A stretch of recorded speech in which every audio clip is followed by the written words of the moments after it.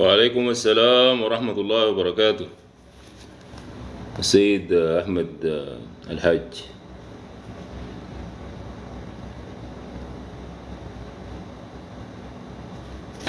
الليلة عاوزين نتكلم عن إمكانية إعادة عجلة الإنتاج للبلد تاني. وطبعا كلامنا ده كله يا جماعة بيتكلم يعني عاوزين نقوله أثناء الحرب يعني. يعني أثناء الحرب دي حرب انتهت ما انتهت نحن دايرين نحاول نشتغل. والحاجة دي ما إجبارية ولا إلزامية والداير يجي والما داير في ستين. يعني كلام واضح كده من البداية كده. السلام عليكم ورحمة الله تعالى وبركاته. نحن بنتكلم في الموضوع. إذا كان الموضوع عاجبك أقعد. ما عاجبك اتخارج طوالي. نحن دايرين نتكلم يا جماعة الليلة عن إنه كيف نحن نقدر نشتغل الآن في ظل الظروف الحاصلة دي حاليا. إننا نرجع ونشتغل وننتج ونعمل لنا بيوت بدل بيوتنا اللي اتنهبت والمشت. ونرجع تاني نعيد عجلة الإنتاج للدولة ونتخارج من الزلة اللي عايشينها برا بلدنا دي. نحن ما عاوزين حتة غير بلدنا نسكن فيها. الناس اللي قاعدين برا ديل مرقوا بظروف مرقوا بخوف. عاوزين نديهم فرصة إنهم يرجعوا تاني. الفرصة دي حتتحقق بإنه تتخلق مصادر بتاعت أكل عيش ورزق ليهم في بلدهم اللي هي السودان. ما في بلد تاني بتقبلهم ولا في بلد تاني ذاتها بتقدر, بتقدر تقبلهم أصلا. يعني ما في. إلا تكون عندك جواز تاني أصلا من بدري أنت أصلا ما سوداني أصلا. عندك جواز تاني ده موضوعك براو. نحن بنتكلم إنه هسه حاليا في ناس بيحاولوا إنه يستغلوا الموضوع بتاع اللاجئين وعودتهم على أساس إنها تكون حاجة بتاعت أغراض سياسية. يعني موضوع يا حبيبي أنت اتخارج طوالي اتخارج طوالي. شفت نحن ممكن نشتغل. في مليون راجل شغال هسه في المنطقة الصناعية في عبرة في بورسودان في أي ملف. ناس دي شغالين في أمانة الله بينتجوا بياكلوا بيشربوا ومعيشين ناس كتار وراهم آلاف. مناقل شغالة المنطقة الصناعية المناقل شغالة. الله أكبر تحياتنا لهم تحيات صباحية لكل الناس الشغالين الآن. الآن يوم الجمعة ده في ناس شغالين بيحصروا في الزيت في المناقل في ناس شغالين بيكشروا في الفول. في المناقل في ناس أسي شغالين أسي دي في ناس شغالين في الغرابيل. التحيات لهم جميعا. نحن بنحيي كل الناس الشغالين في المناقل الناس الشغالة هسه في سنار الناس الشغالة في سنجة الناس دي كلهم إحنا بنحييهم تحية صباحية. الناس الشغالين في المناطق الصناعية كلها بأنواعها الناس الشغالة في مدرمان الناس الشغالة بتصلح في العربات حقت الناس العمال الحرفيين. كل الناس دي اللي نحن بنحييهم ودي اللي نحن ناسنا واللي نحن بنستهدفهم. نحن جزء من الصناعية بتاعين السودان. المكان ده مكان للصناعية بتاعين السودان مكان للحرفيين المكان ده مكان للمصنعين المكان ده للناس اللي بتنتج بس. أي واحد تاني قاعد في الليستيك عمره كله ما عنده شغلة بإنتاج ما عنده شغلة بأي حاجة نحن ما بنتكلم عنه ولا مستهدفينه ولا كلامنا ده ذاته أصلا يعني موجه له ولا في حيسمع كلمة ذاتها من الكلمات الممكن يستفيد منها. يعني نحن كل المنبر بتاعنا ده نحن بنتكلم فيه عن ناس منتجين ناس عاوزين ينتجوا في السودان ناس عاوزة تعمل مصانع ناس عاوزة تشتغل. ده الموضوع اللي نحن حنتكلم فيه الليلة الساعة بقت تسعة يا جماعة وبسم الله الرحمن الرحيم. هنبدأ اللايف بتاعنا. أول حاجة يا جماعة طبعا يعني الخطوة الأولى آه دايرين نتكلم عنها أكبر مشكلة بتواجه الناس في إنهم يقدروا يشتغلوا الآن في السودان اللي هي مشكلة الإسكان. طبعا مشكلة الإسكان طبعا هي مشكلة كبيرة جدا والناس اتكلمت عنها وزي ما بقولوا يعني الناس كلها اعتبرتها إنها المشكلة الرئيسية والمشكلة الكبيرة اللي بتمنع اللي بتمنع الناس من العودة والعمل من جديد في السودان والغلاء الكبير والفاحش والاستغلال الغريب اللي هو ما بيشبه السودانيين ولا بيشبه أخلاق الحصل للناس في المناطق المختلفة الآمنة من السودان. وما زال يعني حتى الآن الإيجارات طبعا أسعارها يعني عالية جدا. والشيء ده طبعا اتكلمنا عنه في اللايف الفات إنه من الأشياء اللي بتزيد تكلفة الإنتاج ذاته يعني نحن هسه حاليا لما نرجع نعمل لنا ورشة يعني بتاعت حدادة مثلا في السودان الآن. يعني لو عملناها في أي ولاية من الولايات اللي نحن أصلا ما عندنا فيها سكن ولا عندنا فيها يعني عقار ولا عندنا فيها أهل ولا أسر ولا كده. يعني الحاجة دي بتزيد لنا تكلفة الإنتاج بصورة كبيرة. طبعا إحنا أكيد حندخل يعني في المنتج التكلفة بتاعت حياتنا عموما يعني. تكلفة حياتنا اللي هي داخل فيها الإيجار والأكل والشراب والإعاشة والقصص دي كلها يعني حتكون جزء أساسي من تكلفة آه، الإنتاج اللي نحن هنعاني منها في السودان. تكلفة إنتاج زيادة برضو أكيد معناه يا جماعة تكلفة آه، سعر عالي للمنتج آه، هيكون المنافسة صعبة جدا. يعني بالنسبة لنا في ظل الظروف الفاتحة دي حاليا كل المنتجات بتجي من عدد كبير من دول العالم. ونحن كمصنعين وكمنتجين يعني بنعاني من المنافسة دي من قبل الحرب طبعا. وأكيد الحرب يعني هترفع تكلفة الإنتاج أكتر لأنك أنت بتكون يعني زي ما شايفين هسه حاليا كل الأشياء زادت والخدمات أسعارها زادت عموما بالإضافة للموضوع بتاع السكن ده. مشكلة الإسكان دي يا جماعة ما بتتحلى إلا الحكومة يكون عندها دور في الموضوع ده. أن إحنا بندعو الحكومات الولائية للمرة المليون مما بدأت الحرب دي. إنه يا جماعة لازم الحكومات الولائية السادة الولاة السادة معتمدين المحليات الرجاء الرجاء إنتوا قاعدين في مناطق آمنة الآن وما فيها أي مشاكل. يعني والناس قاعدة والأسر موجودة عندكم أن إحنا عاوزينكم إنكم تفرغوا أماكن للناس المنتجة دي إنهم يجوا يشتغلوا ويجوا يسكنوا. أن إحنا بنتكلم عن إنه الرسائل اللي بيجينا والكلام اللي بيجينا من كل الناس اللي قاعدين برا السودان بيقولوا يا جماعة بس دايرين لنا قطعة أرض. ادونا قطعة أرض في أي منطقة في السودان إن شاء الله مساحتها 100 متر. 100 متر وبندفع عليكم بالأقساط. الناس بتقول كده. إحنا حنرجع عشان نكون قاعدين في بلدنا بعزة وبكرامة. وما نكون قاعدين في ظل الظروف اللي عايشينها الناس زي البره. الناس دي كلها قاعد تقول الكلام ده. أدوني 100 متر أنا بعمل لي فيها راكوبه أدوني 100 متر بدق لي فيها خيمة. أدوني 100 متر يا جماعة في السودان حاليا. الناس دي بتقول كده. يا جماعة العالم ده كله بيعمل معسكرات في مناطق آمنة للناس للعودة حقتها لإقامتها. الناس طلعت برا زاغت المرائر زاغت المرائر. والآن محتاجة بإنها بأي شكل من الأشكال إنها تعود إلى السودان. يا جماعة الاستثمار في السودان الآن ممكن جدا في مشاكل كبيرة جدا بتاعت مواد خام مهدرة. الآن في الولاية الشمالية حصل إهدار لمواد خام كثيرة جدا جدا. حصل إهدار للبصل حصل إهدار للتوم حصل إهدار للمانجا في الموسم الفات.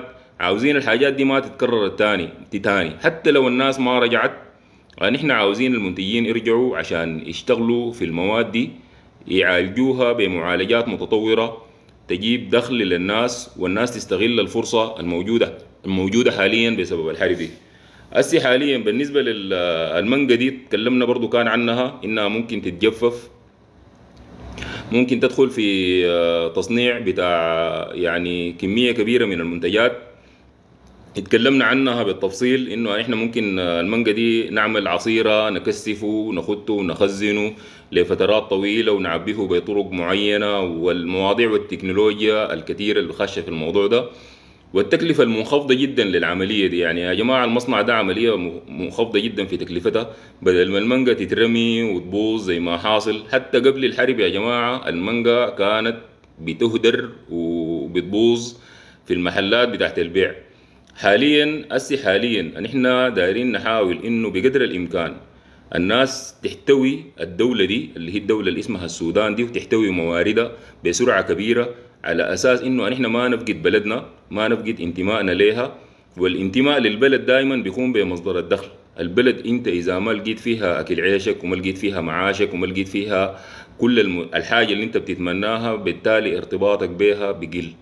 نحن حاليا في مرحلة بتاعت انه نحن بنحاول إننا نلحق نلحق الحاجة الممكن إنها تتلحق. بالنسبة للناس الحكومة يا جماعة يا ولايات يا سادة الماسكين المحليات كلها كل مدن السودان الآمن الآن. السودانيين برا السودان الآن بيعانوا ويذلوا. من قبل ناس أساسا ما بيسووا أظافرهم. ما بيسووا أظافرهم. أظافرهم ما بيسووها أنا بقول الكلام ده يعني ان إحنا في حكومات حكومات زلت السودانيين. في حكومات الحكومات نفسها هي بتزل السودانيين ما المواطنين بتاعين بتاعين البلاد. الحاجة دي لازم تتحل بسرعة كبيرة جدا جدا ولازم الناس. الحاجة دي فيها استثناءات طبعا بأي شكل من الأشكال. ما كل الدول بتتعامل مع السودانيين بصورة سيئة لكن في بأي شكل من الأشكال في ناس سودانيين قاعدين. يا جماعة بيذلوا خارج بلادهم. الآن الحل الوحيد لهم الناس ديل إنه يرجعوا للولايات الآمنة والناس لازم توفر لهم مصادر الدخل والخدمات الأساسية. الحاجة دي يا جماعة إنه نحن عندنا أسي موارد بتهدر. عندنا ناس يعني قاعدين في مناطق مختلفة من أنحاء العالم عندهم إمكانيات وعندهم تقنيات عالية. في ماكينات كثيرة موجودة الآن في مدرمان بعد إنه ما الجيش يعني أعاد السيطرة على مدرمان حاليا. يعني في مناطق كثيرة جدا جدا بقت آمنة في مدرمان لكن الإنتاج فيها صعب جدا جدا. الماكينات حقتهم قاعدة ما في طريقة يشغلوها الآن في مدرمان. إذا كان في طريقة إنه تتوفر يا جماعة الآن مناطق في الولايات الآمنة للناس دي إنها تنقل ماكينات أو معدات أو وتشتغل نحن بنقدر نصل لحل سريع للأزمة اللي نحن بنعاني منها حاليا. السي الشيء الأساسي. الشيء الأساسي يا جماعة إنه الناس دي عشان ترجع محتاجة لسكن. الناس عشان ترجع محتاجة لسكن. السكن ده يا جماعة تكلمنا إنه في ناس هسي حاليا بيدفعوا يعني ملايين الجنيهات السودانية. السودان حاليا الألف بلوكة فيه بمليار و300 بقت لمليار. يعني أسعار مختلفة. يعني في بعض الولايات الألف بلوكة فيها بمليار وفي ولايات الألف بلوكة فيها بمليار و300 الألف بلوكة دي يا جماعة ممكن تعمل للزول يعني غرفة يعني غرفة يعني هي 2000 بلوكة ممكن يعمل لواحد غرفة بيستروه هو وأولاده. وبتعمل له حتى لو ما تبيضت الحوايط ذاتها. يعني لو ما تبيضت الحوايط الواحد الزول عاوز يقعد يعني عاوز يقعد بس عاوز له حتة يقعد فيها ويقول الحتة دي بلدي. يعني دي الحتة بلدي. ده غير إنه لو الحكومة كان عندها دور يا جماعة.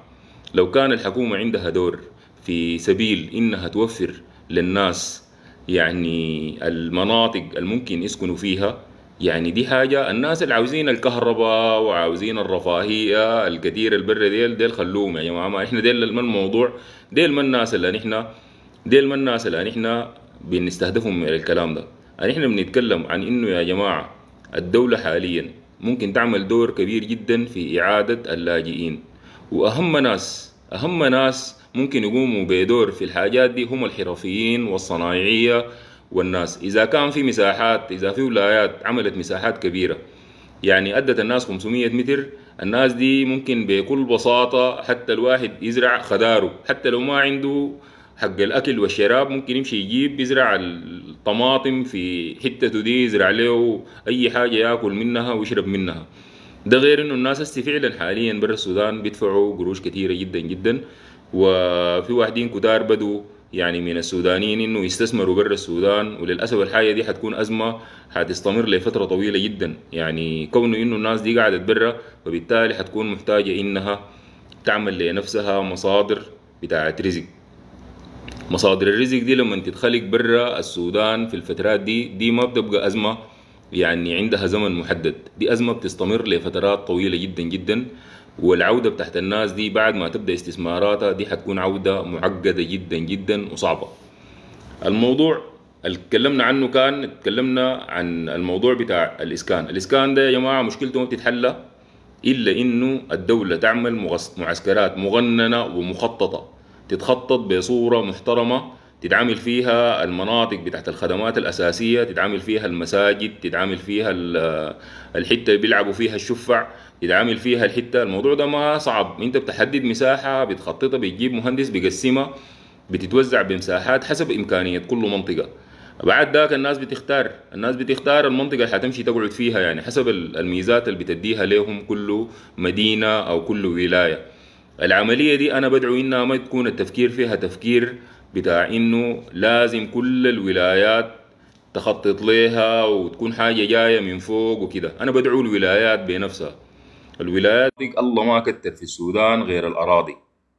يعني نهائي الله ما كتر في السودان غير الأراضي الفاضية والأراضي الدلجة. وفي مناطق قريبة جدا. السودان ده قريبة جدا من المات وقريبة جدا من المناطق اللي ممكن الناس تلقى فيها معيشتها وتلقى فيها حياتها. الناس ديل عودتهم حتكون إضافة كبيرة جدا لمنطقتك. نحن بنتكلم عن ناس مهندسين عن ناس آه، دكاترة عن ناس أسي حاليا. الناس دي قاعدة برا بسبب واحد إنه ما متوفر لهم حاجة وفي استغلال كبير وفاحش لهم في السودان. يعني أنت لو داير تستأجر الآن في السودان بيت هتلقى إنه التكلفة أعلى كثير جدا مما إنك أنت تسكن في أي دولة تاني. الموضوع الآتي إنه لازم الدولة الحكومة السودانية الحكومة السودانية بنتكلم عنها بنتكلم عن الحكومة الصغيرة. الحكومة الصغيرة دي موجودة ماسكة محلية في السودان إنها تقوم الآن تخطط لمناطق محددة لمشاريع بتاعت عودة. إن شاء الله يسموها معسكرات إن شاء الله يسموها أحياء. الموضوع ده موضوع بسيط جدا جدا. الموضوع ده ما بيكلف المحليات دي أي حاجة. في محليات هسه الولاية الشمالية دي على سبيل المثال كانت أصلا خلا. يعني كانت خلا ما فيها ناس ذاته. يعني أنتم ما تشتغلوا يا أخي. اشتغلوا يا ناس الولاية الشمالية.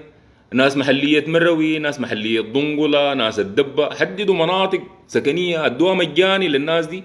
ادوها مجاني. أنتوا دارين أي حاجة تكون بالقروش يعني؟ أي شيء لازم يدفعوا لكم فيه قروش؟ يا جماعة تحركوا يا أخي. الكلام ده برضه بنقوله لناس بورسودان بنقوله لناس سواكن؟ بنقوله لكل المناطق الثانية عملوا للناس دي حتات يقعدوا فيها.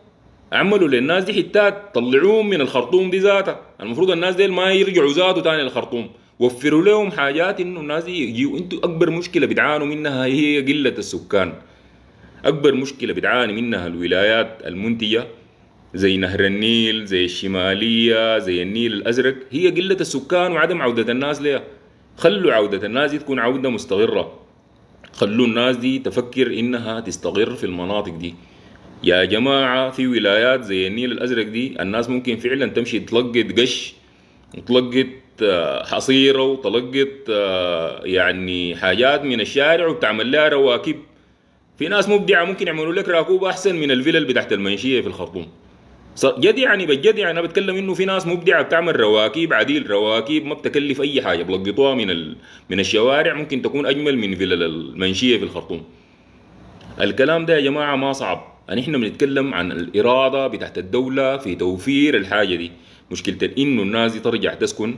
يا جماعة أنتوا بتتكلموا عن إنه أسي حاليا الدمازين دي يعني كمدينة الناس ما ساكنة فيها ليه؟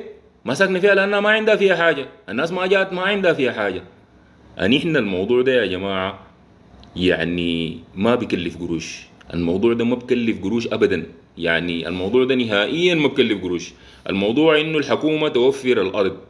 توفر الأرض فقط وتخطط الأرض وتخلي الناس إنه يجوا يقعدوا فيها. إذا أنت قالوا لك دي الأرض دي المساحة بتاعت ال 200 متر دي حقتك أنت تعال شيل واقعد فيها مجاني. أو إن شاء الله أدفعها بأقساط.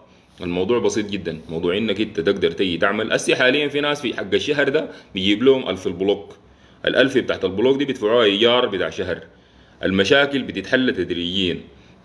في ناس مشاكلها أقل وبيقدروا إنه الموضوع ده يحلوه بسرعة. وفي ناس مشاكلها كبيرة جدا. بالنسبة لنا نحن كصناعيه كلنا كلنا كلنا نحن كصناعيه بنقدر أيمن البحيري البحري ولا شنو ده؟ وإنت وين إنت يا طير الجنة إنت؟ إنت وين إنت؟ إنت وين؟ آه أنا راجع أصلا ورجعت وشغلت ورشتي الحمد لله. شابكني أرجع وما أرجع. أرجع شنو؟ ترجع في روحك يا أخي ارجع في قطر يا أخي. دي محلتك انت ذاتك يا أخي. واحد صعلوك عاطل ساكت يا أخي. خارج من هنا يا أخي. تاني بالنسبة للمواضيع اللي إحنا بنتكلم فيها. الموضوع نرجع لموضوعنا اللي إحنا بنتكلم فيه. أصلا ان إحنا موضوعنا انه ان إحنا عندنا مصانع عندنا ورش عندنا مناطق صناعية ان إحنا منتجين عاوزين نشتغل في بلدنا. يا جماعة محتاجين انه تتوفر لنا مناطق نشتغل فيها الآن. نحن الورش حقتنا ومعداتنا معطلة وبتقدر تشتغل الآن وتنتج وتدخل عملة صعبة للبلد. ده الموضوع الأساسي اللي نحن عاوزينه محتاجين له. بالنسبة للموضوع الأساسي اللي هو إعادة عجلة الإنتاج.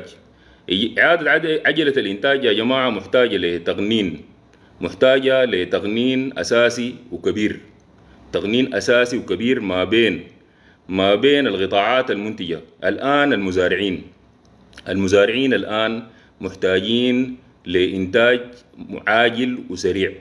الإنتاج العاجل والسريع ده المزارعين بيقدروا إنه ينسقوا مع المنتجين. بالمعلومة بس يعني يا جماعة أنت عشان تجيب لك محل تعمل فيها طاحونة يعني دي محتاج أنت لمواد خام. المواد الخام دي أنت لازم تعرفها إنها متوفرة. في معلومة بيجيك أصلا؟ يعني من الناس مباشرة بيجيبها براك انت بشخصك انت بتكون عارف. الموضوع بتاع التنسيق القطاعي دي عملية بتاع داتا ومعلومات المفروض الدولة توفرها وتخليها مكشوفة للناس. يعني مثلا هسه حاليا إحنا عندنا مشكلة بتاعت آه، زيوت عندنا مشكلة بتاعت هدر بتاع حاجات في تعقيدات حصلت في الصادر. الحاجات المتوفرة دي يا جماعة لازم إنه يحصل عملية بتاع التنسيق قطاعي ما بين القطاع الصناعي وما بين القطاع الزراعي. المنتجات الموجودة حاليا ومخزنة والاستوكات الموجودة دي لازم الناس تقدر توفرها بصورة رهيبة جدا جدا سهلة ما صعبة. المعلومات دي ذاتها في كل المناطق ممكن الناس تقدر توفرها. والله يا جماعة غاية سبحان الله. هو فعلا أنت عارف يعني مثلا إن شاء الله أنت بس يكون عندك حق الفطور يا زيدان. إن شاء الله أنت يديك حق الفطور. إن شاء الله إحنا ربنا يرزقنا ما عندنا حق الفطور ده. إن شاء الله برس ربنا بيرزقنا بالرزق الكثير. طبعا يا جماعة أنا اسي لسه ما بتكلم يعني على أساس إنه يعني أشوف حل للمشاكل دي. آه بصورة يعني معقولة. يعني ونقدر إن إحنا نحلها. والآن نحن عندنا حلول كبيرة للموضوع ده.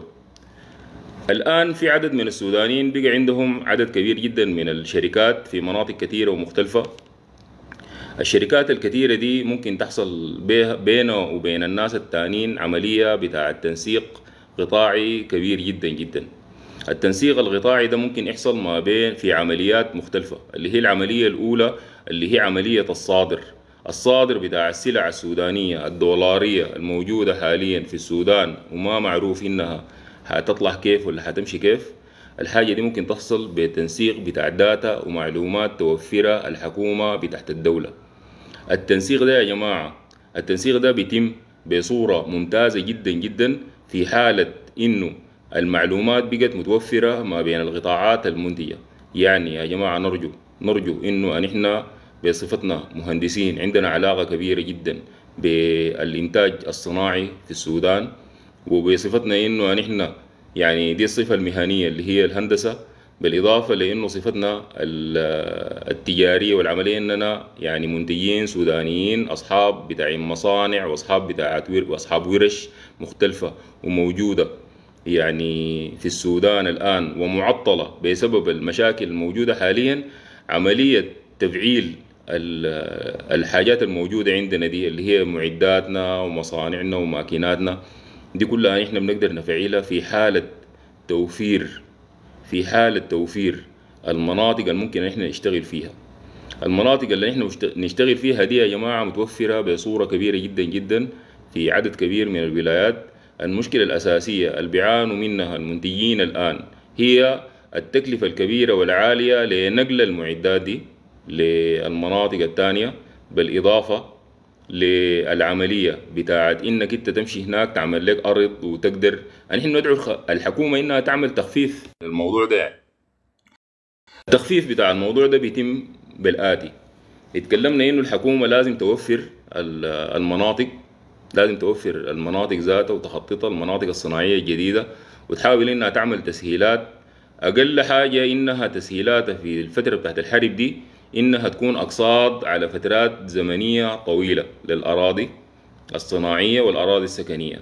ده غير إنه آه، غير موضوع الأقساط على فترات زمنية طويلة لازم إنه برضو الحكومات الولائية تعمل حل سريع في العملية بتاعت آه، التسهيل بتاع عودة الناس القاعدة برا دي. والتسهيل ده ممكن يتم بتمويل حتى للنقل يعني. يعني نقل الماكينات والمعدات يا جماعة من مناطق من منطقة لمنطقة تانية. دي عملية كبيرة جدا. المصانع دي كونك إنك تنقلها من مكان لمكان تاني دي عملية يعني محتاجة لتمويل من البنوك السودانية.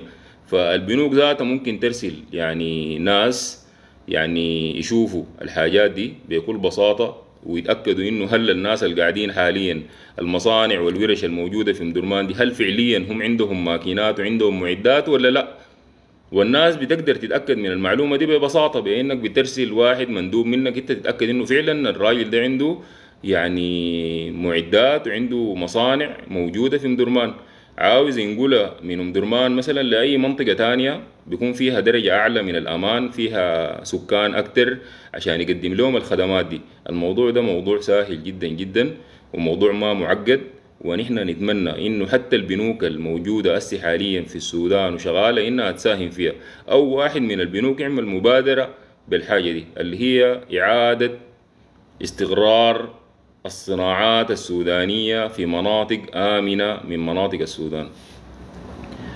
آه، ده كله طبعا الموضوع اللي بيتكلم عنه ده بيكون محتاج زي ما قلنا نكرر تاني محتاج لدور حكومي لأنه الأراضي والمناطق الممكن تكون مناطق سكنية دي مناطق لا يمكن إنه تتوفر إلا بيد الحكومة. الحكومة هي الوحيدة اللي بتقدر تعمل تخطيط للمناطق دي. الحكومة هي الوحيدة اللي بتقدر توزع الأراضي دي اللي حيسكنوا فيها العمال والناس اللي حيقدموا الخدمات لهم. يا جماعة مصنع واحد يمشي يقعد في الولايات دي ده مكسب كبير جدا للولايات. الولايات دي كانت خاوية على عروشها. كانت خاوية على عروشها لفترات طويلة جدا من الزمن.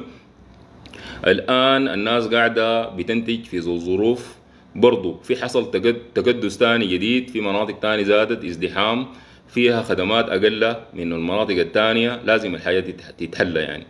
الآن الناس اللي بتنتج يا جماعة في المناقل والناس اللي بتنتج في الدمازين والناس اللي بتنتج في بورسودان. نحن عندنا عبرة بقت منطقة يعني صناعية قوية. عندنا ضنقلة عندنا الدبة. الآن كل المناطق دي حصل فيها انتعاش. نحن بندعو إنه الانتعاش ده يزيد زيادة بخطط حكومية لإعادة توطين الصناعات مرة تانية.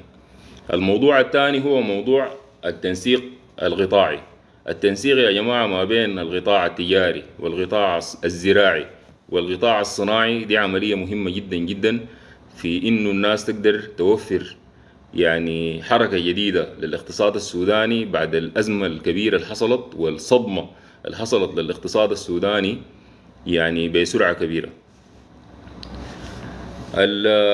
اتكلمنا عن التنسيق ده التنسيق ده برضو لازم يكون للحكومة عندها الحكومة لازم يكون عندها دور كبير يعني ولازم يعني يكون في آه، تخطيط مختلف يعني الطريقة بتاعت التخطيط اللي كانت آه، شغالة التخطيط الاستراتيجي تخطيط الفترات الزمنية اللي بيتكلموا عنها دي حتى التخطيط بتاع الأصول الموجودة حاليا أنت كدولة حتى الوزارات الشغالة زي وزارة المالية والتخطيط الاقتصادي ده ده ما شغل برضه محتاج لتخطيط يعني. الحرب دي برضه محتاجة لتخطيط اقتصادي.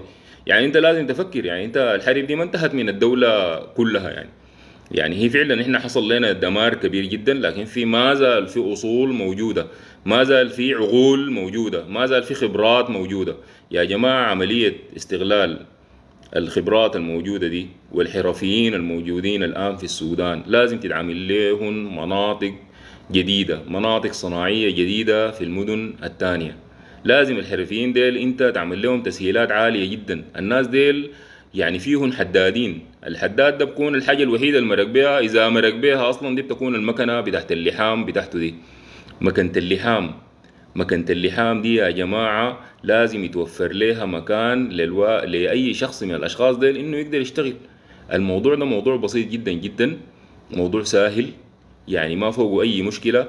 الحكومة ممكن تتخذ فيه يعني زي ما بقولوا قرار سريع وحاسم. قرار سريع وحاسم الآن. المناطق الصناعية تخطيط المناطق الصناعية والمناطق السكنية دي كلها مشاكل الدولة لازم تتحرك فيها ولازم تخلق فيها قرارات سريعة جدا جدا.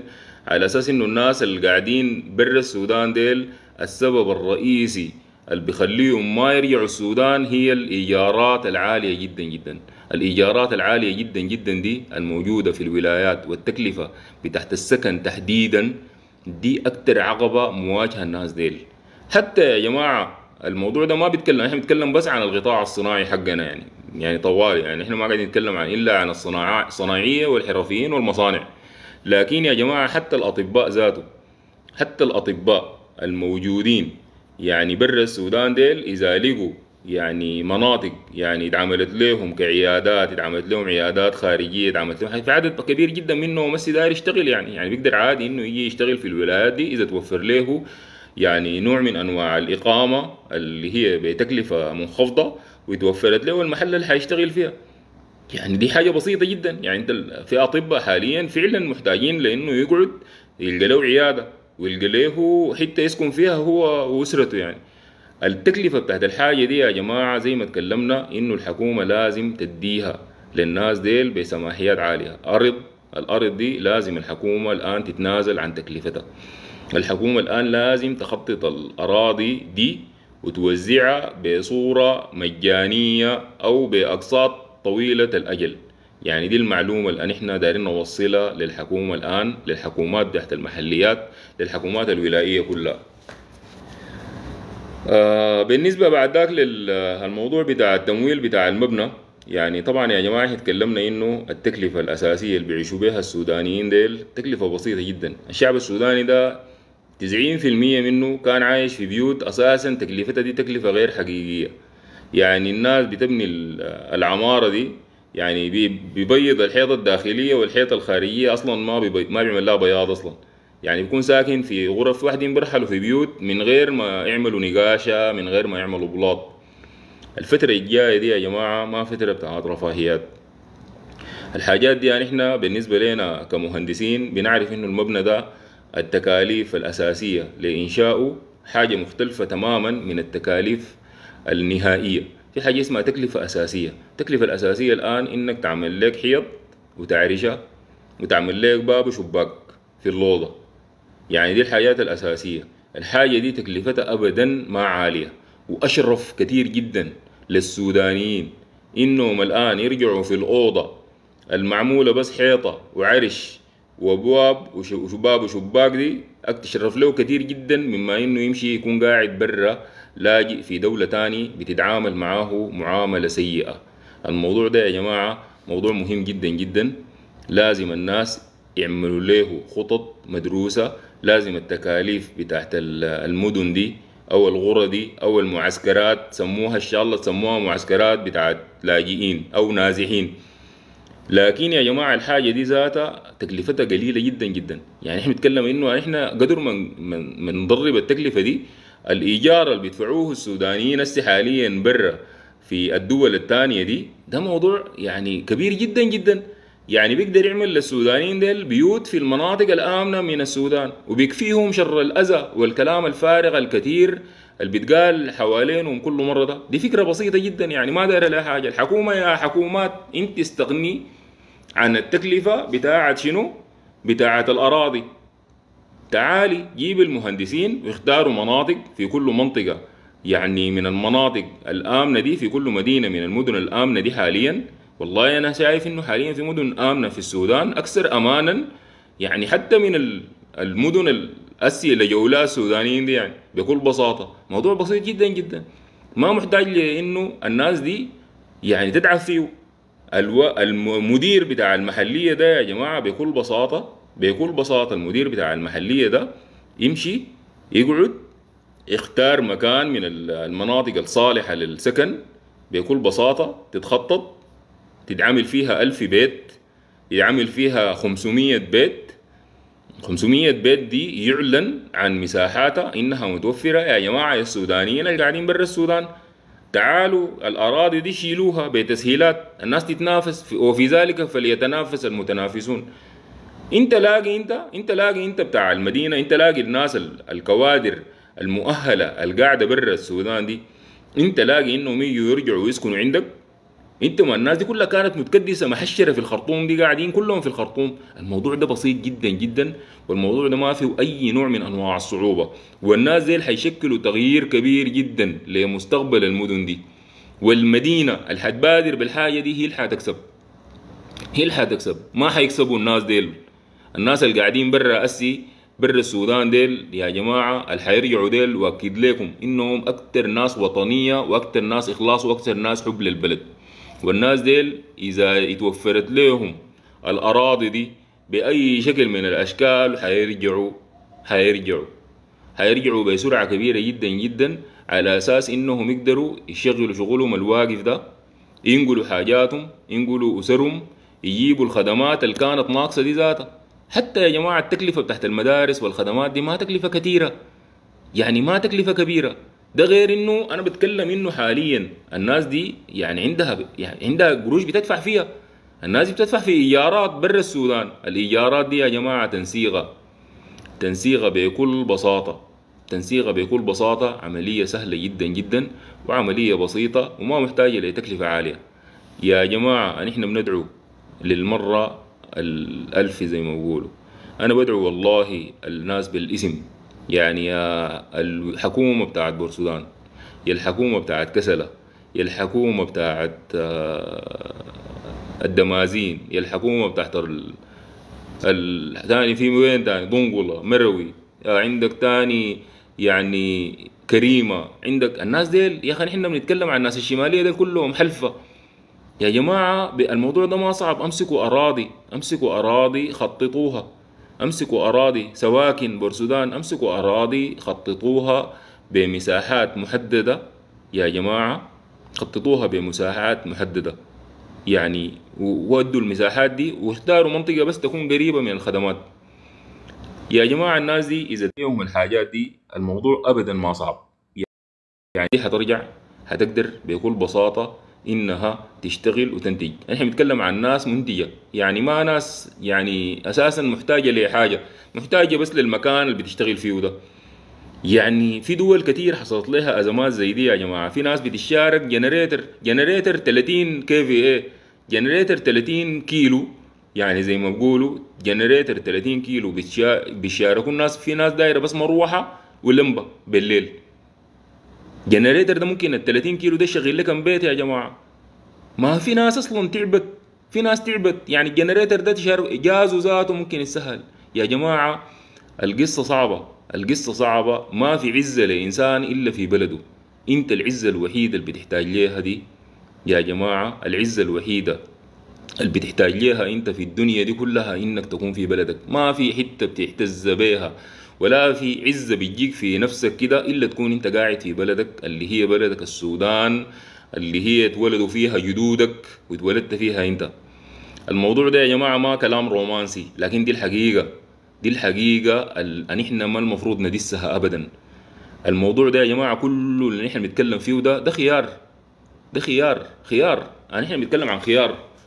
في واحد داير يقعد برا اللي يقعد يا جماعة؟ واحد شايف إنه الموضوع لسه المشكلة كبيرة لسه الأزمة شغالة لسه الحرب مدورة البلد ما آمنة. خليه يقعد يا جماعة. ما عندنا مشكلة معاه هو نحن نحن ما بنجبر نحن ما بنجبر أي واحد. نحن بنتكلم عن مدينة عبره دي فيها مئات من الأسر. فيها مئات مئات فيها آلاف الأسر. موجودة هسه حاليا أسر. في شندي موجودة أسر. في أي منطقة من المناطق دي يا جماعة في أسر كثيرة جدا جدا في دنقلة في أسر قاعدة مكتملة في بورسودان في أسر قاعدة مكتملة في المناطق دي كلها يا جماعة في ناس موجودة. الموضوع ده عبارة عن خطة فقط. خطة حتكون فائدتها كبيرة جدا يا جماعة لمنو؟ لل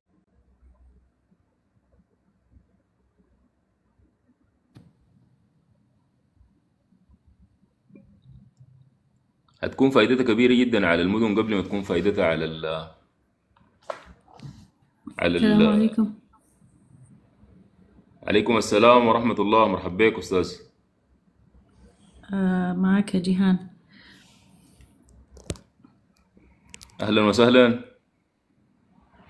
كيف الحال؟ الحمد لله. يبارك فيك. الله يسلمك. تفضلي. والله يعني كلامك جميل لكن بس يا ريت لو يعني يكون في نقاط كده الناس تبدأ بيها يعني عشان ما نقعد بس إحنا نتكلم وخلاص. ما مم. بقصد يعني كلامك أنت يعني. نحن ذاتنا قاعدين نتكلم مرات يعني ساكت لكن ما عارفين البداية نبدأ من وين. والله هو طبعا نحن عندنا بداية إنه نحن تتخلق مناطق صناعية.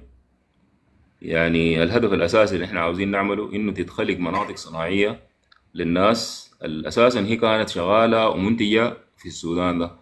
الآن في كمية كبيرة جدا من المنتجين السودانيين موجودين في عدد كبير جدا من دول العالم منتشرين ما لاقين شغل واحدين منهم واحدين اتوفقوا ولقوا شغل. آه برضو في كمية كبيرة جدا من ال- المنتجين مشتتين في عدد كبير جدا من مدن السودان الآن حاليا وما لاقين حتة يشتغلوا فيها.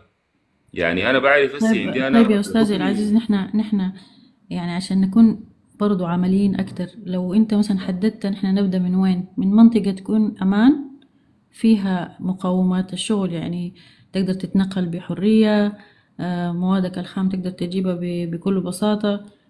الناس ديل حتى لو أنت جبت اليوم أنت عايز رأس مال عشان تعمل لك مشروع. والن- والناس اللي انت بترجعهم عشان تسكنهم لازم تشغلهم في الأول. يعني انت لازم تفتح لهم باب رزق في الأول حتى بعدين هم يشوفوا ويقولوا والله الحكاية دي بتنفع نقوم نحن نستقر. فلو عمل يعني نفكر فيها خطوة خطوة. يعني انت لو عايز تعتمد حسي على حكومة أو محليات أو ولايات يعني ما أنا ما عارفة هم ميزانياتهم بيجيبوها كيف ولا هم كيف حيرضوا. بيسمحوا بتصريحات زي دي أو بيسموها شنو تراخيص ولا حاجات زي دي؟ في الظروف اللي إحنا فيها دي يعني. فمعناته ال- ال- الجهد حيكون جهد شعبي يعني حيكون أن ناس معينين يتفقوا يجوا يعملوا مشروع مثلا سيف الشمالية شندي دنقلة في الحتات اللي هي فيها أمان. ف. يعني الكلام كده ساكت مطلق ما بينفع مع السودان. يعني لازم كل منطقة بدراستها بتختلف عن المنطقة وطبعا التانية نحن نحن طبعا صراحة عارفين الحكومة السودانية دي بتفكر كيف. يعني والموضوع ده ضربنا به نماذج كثيرة كان في يعني في مناقشاتنا اللي فاتت يعني بتكلم إنه هسه حاليا في واحد قاعد كان في الخرطوم. وأي إنسان سوداني كان قاعد في الخرطوم قاعد في جبرة قاعد في الكلاكلة قاعد في أمانة الله قاعد في بيته وموقف عربيته دي في البيت يعني في أمان والمسؤول من الأمان ده هي الحكومة يعني هي الدولة إنه الأمان اللي عايش فيه المواطن ده خلاص بيدفع مقابله. يعني حنضطر نقلب بيدفع يعني مقابله مثلا نتعايش مع الواقع هي خليني أنا أشرح لك الفكرة بس. خليني أشرح لك الفكرة. الفكرة إنه أنا في مواطن سوداني الحكومة العقد ما بينه وما بين الحكومة إنها توفر له الأمان يعني باستثناء الحاصل يعني. أنا قاعد في بيتي الأمان حقي قاعد في بيتي أنا أنا عايش في بيتي. آه عندي العربية على سبيل المثال نموذج واحد من الحياة اللي فقدناها نحن كسودانيين. هي عربيتنا. يعني خشوا الجنجويد ديل شالوا العربية حقتك رجالة كده من بيتك ومشوا بيها. الموضوع ده انتهى لحد النقطة دي. الجنجويد ديل شالوا عربيتي. أنا ذات وعلي ده شالوا مني عدد كبير جدا من العربات يعني. يعني يعني عرباتي اللي أنا شغال بيها دي شالوها مني يعني. فيلا أنا بتكلم عن إنه الناس دي لما شالوا عربيتي دي ومشوا يجيبوا بها الديمقراطية على سبيل المثال. الناس ديل كويس؟ الناس ديل أنا أنا ما عندي علاقة بالموضوع ده. أنا ما عندي ذنب في الموضوع. أسي أنا الليلة علي ده لو داير أجيب عربية ثانية بدل عربيتي دي من برا السودان. أجيب شاحنه وأجي أدفع جمارك والحكومة ما حتعوضني طبعا بأي شكل من الأشكال من عربيتي شالوها الجماعة ديل. أيوة. في النهاية أنا جايب العربية دي وجاي مدخله السودان. يكون مفتوح يعني تسهيلات مثلا؟ هيقولوا لي هي... هيخلوني ادخلها ساعة يعني من غير جمارك يعني مثلا. الناس دي لسه حاليا. ولا هم السبب أنا أنا بالمناسبة الشيء اللي أنا واثق فيه وعارفه إنه الحكومة دائما بتتعامل مع مشاكل البلد بصورة فوقية. هي بتاخد روحها برا المشكلة. هي بتخلق المشكلة وبتاخد روحها برا المشكلة. يعني دائما الحكومة في تاريخ السودان أصلا الحكومة في كل ال... كل الزمن يعني على عبر التاريخ السوداني كل الأزمات اللي بتتسبب فيها الحكومة بسوء إدارتها بتطلع منها ب... يعني مثلا حتى ال- ال- اللي بيجي بيستلم تاني قبل السابق له قبل الحاكم السابق له بكل بساطه بيجي يطلع روحه من الأزمة. يعني يقول لك والله الحكومة اللي فاتت كانت حكومة ما عارف فاسدة وعملت وكده. لكن إحنا ما عندنا الدولة اللي بنحاسبها. يعني من ما السودان ده مشى لحد الآن. يعني ما عندنا الدولة. الدولة اللي إحنا بنقدر نحاسبها نقول لها والله انت مسؤولة. يا أخي أنا ممكن أقول لك إنه ديل أسوأ ناس على كوكب الأرض. يعني مثلا الجنجويد ديل أسوأ ناس. لكن أنت برضه كدولة مسؤول من إنك أنت جبتهم لي. أنا أنت المفروض أنت توفر لي الامان ده فالحاجة دي مهمة جدا انها يعني بأي شكل من الأشكال أنت عندك مسؤولية في الأزمة دي. فحرام يعني. حرام إنك أنت تجي أسي أنا داير أجيب عربية بدل عربيتي اللي سرقت مني دي بسبب المستوى ال- العالي بتاع الإهمال حصل منك انت كدولة وضيعت لي أنا حاجات كثيره جدا في حياتي يعني, يعني انت عارف ال ال الإنسان ده لما يطلع من بيته ويطلع من شغله أكل عيشه والحاجات دي دي, خسائر كبيرة جدا. أبسط حاجة هسي حاليا انت لما تيجي داير تدخل لك عربية هيجي يقول لك يا أخي جمارك هيخدوا لك قانون بتاع موديل. يا أخي أنا عربيتي اللي قاعدة في السودان دي مثلا قولي موديل 2012 لا المفروض تتغير القوانين دي بعد الحرب ذاته. معقول تجي ياسي تقول لي يا أخي موديل 2012 ده ما بخش؟ يا أخي أنا عربيتي اللي سرقت دي كانت موديل 2012 يا أخي. ما أنت ما عندك أنت ما عندك عين أصلا تتكلم. ما المفروض يكون عندك المفروض تكون خيام؟ تعاين في الواطه دي زيك زي أي واحد يعني فقد سيطرته على المسؤولية حقته الأساسية. دي الحاجة. الشعب السوداني حاليا نفسي بيعاني معاناة يعني ما طبيعية. يعني معاناة ما طبيعية. لكن نحن يجي يقول لك الحكومة ما بتشتغل بك الحكومة ما حتعبرك. ليه ما تعبرني؟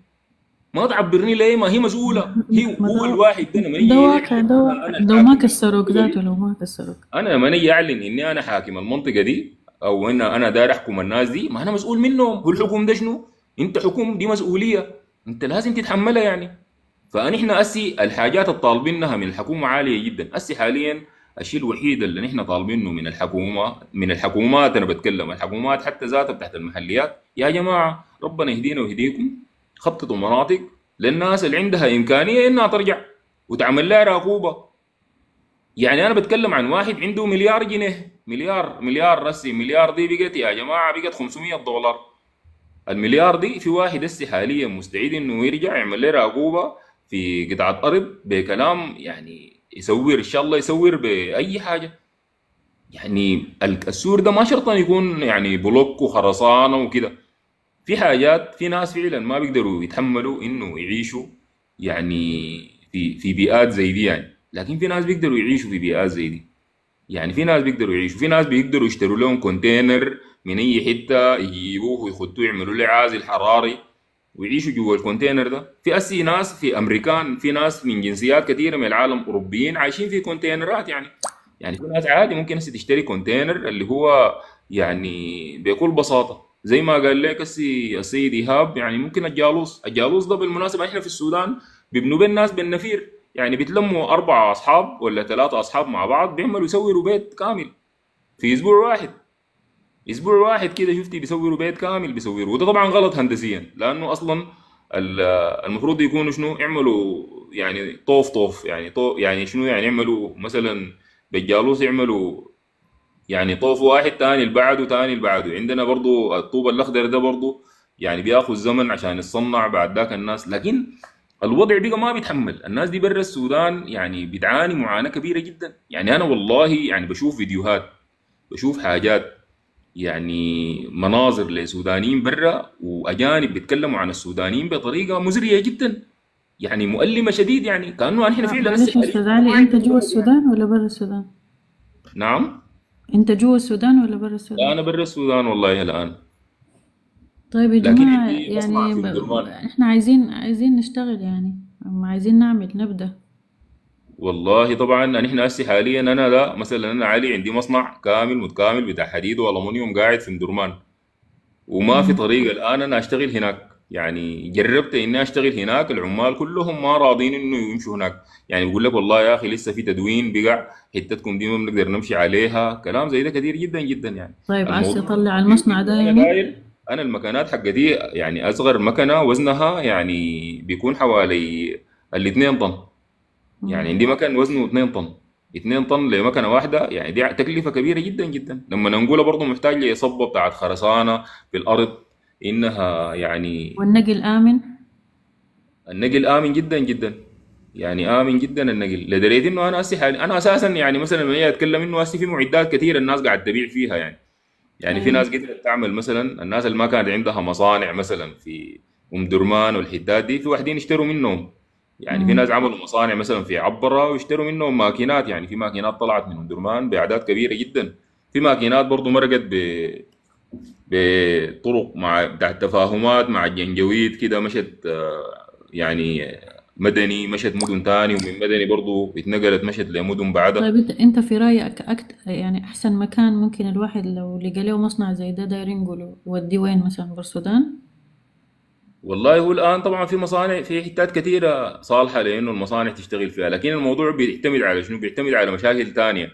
اللي. هي أنت الإيجار مثلا في عبرة غالي ولا أغلى في بورسودان النقل لبورسودان أغلى ولا أغلى لعبرة. يعني شدي برضو ممكن يعني والعمالة برضو.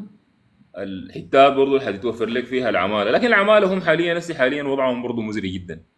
يعني العمالة ذاتها دايرة شغل. يعني هسه إحنا بنتكلم عن إنه يعني العمالة نفسها مؤملة. يعني إنه المصانع دي ترجع عشان تشتغل. يعني في مصانع مثلا بتاعت بسكويت وحاجات دي كانت مشغلة يعني مئات ال- الناس يعني. يعني مئات السيدات مئات البنات السودانيات. يعني كانوا كلهم ديل شغالين في مصانع البسكويت المعطلة دي يعني ومصانع العصاير ومصانع المربى. يعني في حاجات كده أنا ومواد افهم الخام مواد الخام من وين برضو؟ والله المواد الخام طبعا في مواد خام الآن متوفرة. وطبعا إحنا تكلمنا كان عن موضوع إنه نحل الحاجة دي بحاجة اسمها التنسيق القطاعي. التنسيق. القطاعي إنه يكون في داتا بتتعمل بالمواد المتوفرة لل لكل ولاية وكل منطقة. على أساس الناس تجي تشتغل فيها. يعني مثلا هسه حاليا يعني ناس القضارب على سبيل المثال عندهم كميات كبيرة جدا من السمسم يعني. يعني في مشاريع مثلا لو داير تعمل مثلا حلاوة طحنية داير تعمل لك آه، زيت أيوه. سمسم. أيوه. تكون فمثلا تعملها في الجدار المنطقة بتاعت القضارب دي من أصلح المناطق للموضوع ده يعني. يعني لو داير تعمل مثلا استثمار في مجال بتاع التجفيف والتعبئة بتاعت البهارات والحاجات دي تعتبر ولاية شمالية ممتازة جدا لأنه فيها إنتاج كبير للشمار. فيها إنتاج كبير جدا للبصل آه،. فيها إنتاج كبير جدا للمانجا وطبعا أهدرت يعني السنة اللي فاتت يعني برضو بسبب الحرب أيوه. الموسم اللي فات. هسه الموسم الجديد قرب ذاته يعني. حتى التمور ذاتها يعني حصل لها مشاكل يعني. طبعا التمر ال- الأنتج برضو حصلت له مشاكل السنة اللي فاتت نسبة لقلة ال- الاستهلاك طبعا عدد كبير جدا من السودانيين الآن. طيب طيب معلش على المقاطعة ال- آه، طيب لو قلنا مثلا في منتج معين في منطقة معينة زي مثلا آه، الشمالية ت- تمور. نعم آه، والناس دي اللي عندهم مزارع كبيرة ما شاء الله بتاعت تمور. فأنت مثلا حتعمل شنو؟ ممكن تجيب لك أبسط شيء إنك تجيب مصنع بتاع يعني يعني تغليف بس إنك تفرز ال- المنتج ده وتغلفه وتكون عندك مثلا طريقة بتاعت إنك تصدره يعني. دي مم. بداية كويس دي ده مصنع خفيف ما فيه آه، تعب كتير يعني. عبارة عن إنك بتاخد المحصول تتفق مع مع المزارع ده تاخد محصوله وإنت هتتكفل بكل شيء يعني. وطبعا في الحاجة دي في في مشكلة في الحاجة دي طبعا كبيرة. فطبعا أصلي إحنا في السودان بنبسط الأمور ودي مشكلتنا في الصناعة بالذات يعني إنه إحنا مثلا لما نيجي نعبي التمر ده بس. بنفتكر إنه التمر ده حاجة بتشيلها بتحطها في كيس وبتكفي أكيد الكيس. طبعا. في مواصفات الكيس. ده وبالذات آه لو بتكفي الكيس بتكفي الكيس أيوه ده وبتوديه يعني تشحنه وتوديه برا. طبعا أول حاجة يعني التمور دي يا جماعة في يعني مكن بتاع تعقيم. التعقيم ده بيقتل البكتيريا الخارجية اللي قاعدة مم. التجفيف بتاع التمر ذاته يعني في عدد كبير من الدول في دول ما بتصلح لإنه يكون التجفيف تجفيف exposed أو في الهواء الطلق يعني أو في الشمس. لازم. يكون التجفيف ده في غرف بتاع التجفيف يعني مقفولة ومعقمة. دي بتزيد من الجودة بتسرع من الزمن بتاع التجفيف نفسه وبعد ذاك التعقيم نفسه بيكون أسهل بيكون أيوه يعني العمر ذاته بتاع التيمور ده أعلى. بعد كده بتيجي مرحلة اللي بعدها بتاعت التعبئة برضه في في تعبئة بيحقنوا فيها نوع من أنواع بيحقنوا فيها النيتروجين على أساس إنه ما تقوم يكون في أكسجين يخلي إنه الحاجات ال- ال- اللي بتنمو جوا دي تقوم تنمو تاني البكتيريا والقصص دي اللي هي بتقوم بتعتت الحاجة أو بتخربها. بعد ذاك حتى يعني ال quality ذاتها بتاعت التعبئة والعبوة عندها دور في البيع نفسه يعني للمنتج. أيوه. وشكلها ذات وشكل العبوة وتصميمها و design ها يعني ويعني حتى حاجات يعني غير ال printing بتاع ال quality بتاعت ال printing حقها كده دي كلها عوامل كبيرة جدا بتدخل في ففي هسه بتجي من دول كثيرة من دول العالم. الواحد بيحس بصورة واضحة إنه يعني نحن عندنا مشكلة كبيرة بتاعت جودة والحاجة دي بتنطبق على كل المنتجات ال- السودانية الثانية يعني أنا هسي بشوف مثلا هنا في الإمارات إنه في ناس قاعدة تجيب مانجا مثلا. آه، طبعا لكن في أكيد مواصفات وفي آه، قوانين معينة عشان يدخلوها هنا و... وأصلا أنت عشان تدخلها هنا يا إما يا إما حتبيعها مثلا في السوق المركزي الك... يعني الكبير. حت... حيكون عندك طريقة عشان تدخلها يا إما رخصة يا إما كده بتدخلها هنا. وتيجي تبيعها. برضو في مواصفات معينة حتى الجمعيات الكبيرة ما بتاخد منك خضار أو فواكه إلا لما تطابق المواصفات ال- اللي هي خدتها يعني. والله هو طبعا حقيقة أيوة أصلا أي دولة يبدأ يعني. أي دولة من دول العالم بيكون عندها جهة ماسكة آه، حاجة اسمها نظام ال- الأغذية والأدوية الدواء الأغذية والدواء دي هي قانون واحد عالمي. محرف يعني في عدد من الدول بيكون ستريكت أكتر على بعض السلع بيكون في دول بت... يعني بيكون فيه اختلافات بسيطة كده. بالذات في في قانون بيكون اسمه قانون الأدوية والسموم مرات براه وقانون الغذاء بيكون براه فعموما هي كلها حاجات مقتبسة يعني من من بعض والناس آه، اشتغلت فيها في كل العالم بتعمل كواليتي معينة لأنظمة التعبئة والأنظمة بتاعت ال- ال- ال- النظافة ذاتها والتعقيم لل- للمنتجات يعني. فالحاجة دي أنت لما تكون شغال بمستوى أقل من ال- المستوى المصرح به عالميا ده ففي اللحظة دي أنت بتعاني طبعا من إنك أنت توري تودي منتجاتك دي لل- للدول ال- الثانية دي يعني. فالآن في مشكلة كبيرة حاصلة في السودان إنه نحن دائما معتمدين إنه نودي منتجاتنا للسوق المحلي بصورة كبيرة. حتى الغسيل بتاع الخضروات والفواكه والحاجات دي بيكون مستواه دائما أقل من المستوى اللي بيسمح لنا إنه إحنا نقدر آه، طيب دي ودي أبسط يعني نصدر الحاجة دي عالميا. مشاريع يعني حاجات بسيطة إنك أنت بس تعلب وتص- وتصدر يعني. هي طبعا ما بسيطة زي ما أنا قلتها كده لكن يعني أنا بقصد إنه ده أبسط من إنك تجيب مصنع عشان تصنع وتبيع مثلا. يعني مثلا حس المانجا دي هنا في آه، منتجات طلعت كده إنه بيجففوا المانجا. بيعملوها شرايح شرايح شرايح كده وبيجففوها بطريقة معينة وبيعلبوها والناس بتيجي تشتريها كده جافة مانجا جافة. أيوة تتاكل زي نعم الح... تتاكل زي الحلاوة. فإحنا بدل ما المانجا تبوظ عندنا وتتجدع ممكن نعمل الحكاية دي. يعني أنا بقصد إنه مشاريع تكون خ... يعني خفيفة وتدخل دخل بس. ما يكون يتصرف, يتصرف عليها كتير. والله هو طبعا آه، أساسا دائما في بلد زي السودان دي يعني إحنا كان اتكلمنا عن إنه آه، التصنيف دائما ممكن يكون ل لل للصناعات عموما. يعني كان اشتغلنا بذلنا عملنا هارد ويرك يعني في الموضوع بتاع إنه شنو بتاع إنه نحن والله يعني لازم نعمل تصنيفات لل- للصناعات عموما يعني. يلا أيوة التصنيف الصناعي ده بيكون حسب الطاقة المحتاجة لها الصناعة نفسها. يعني في في صناعات محتاجة لطاقة كهربائية عالية جدا جدا أو تا- وقود يعني بكمية كبيرة. في صناعات آه، بتكون أقل منها متوسطة لحد ما إنه في صناعات بتكون محتاجة ل لنوع بسيط جدا من أنواع لكمية بسيطة جدا من الطاقة. آه، بعد ذاك طبعا ال- المدن المتوفرة فيها الطاقة الكهربائية بصورة كبيرة بيكون عندها إمكانية إنها تستوعب الصناعات ذات الاحتياج الأكبر للطاقة. والمدن اللي بتكون يعني عندها يعني قدرات بتاع التوفير بتاع الطاقة أقل بتستقبل الصناعات اللي هي شنو؟ آه، ما محتاجة لطاقة كبيرة. ف لأن إحنا طبعا بنلقى إنه في السودان في مشكلة في أزمة حاصلة. إنه أنت مثلا يكون عندك مثلا الكهرباء ولدتها مثلا في سد زي سد مروي. يعني مثلا يكون أنت يلا مدينة يلا مدينة مروي أو منطقة مروي دي تكون هي المنطقة الأكثر يعني غناء غنى بال- بالطاقة الكهربائية على سبيل المثال. لكن بتيجي تلقى إنه مصانع الحديد مثلا الصلب اللي هو من الصناعات اللي بتستهلك طاقة كهربائية عالية بنلقاها برضو اتعملت وين؟ اتعملت في في الخرطوم.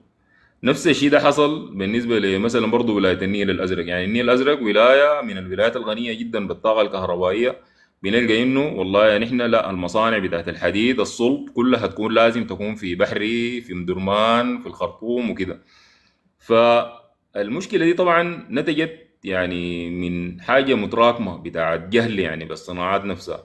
يعني التوزيع بتاع الصناعات يعني بيتخلق بالمميزات اللي بتكون موجودة في المناطق ذاتها.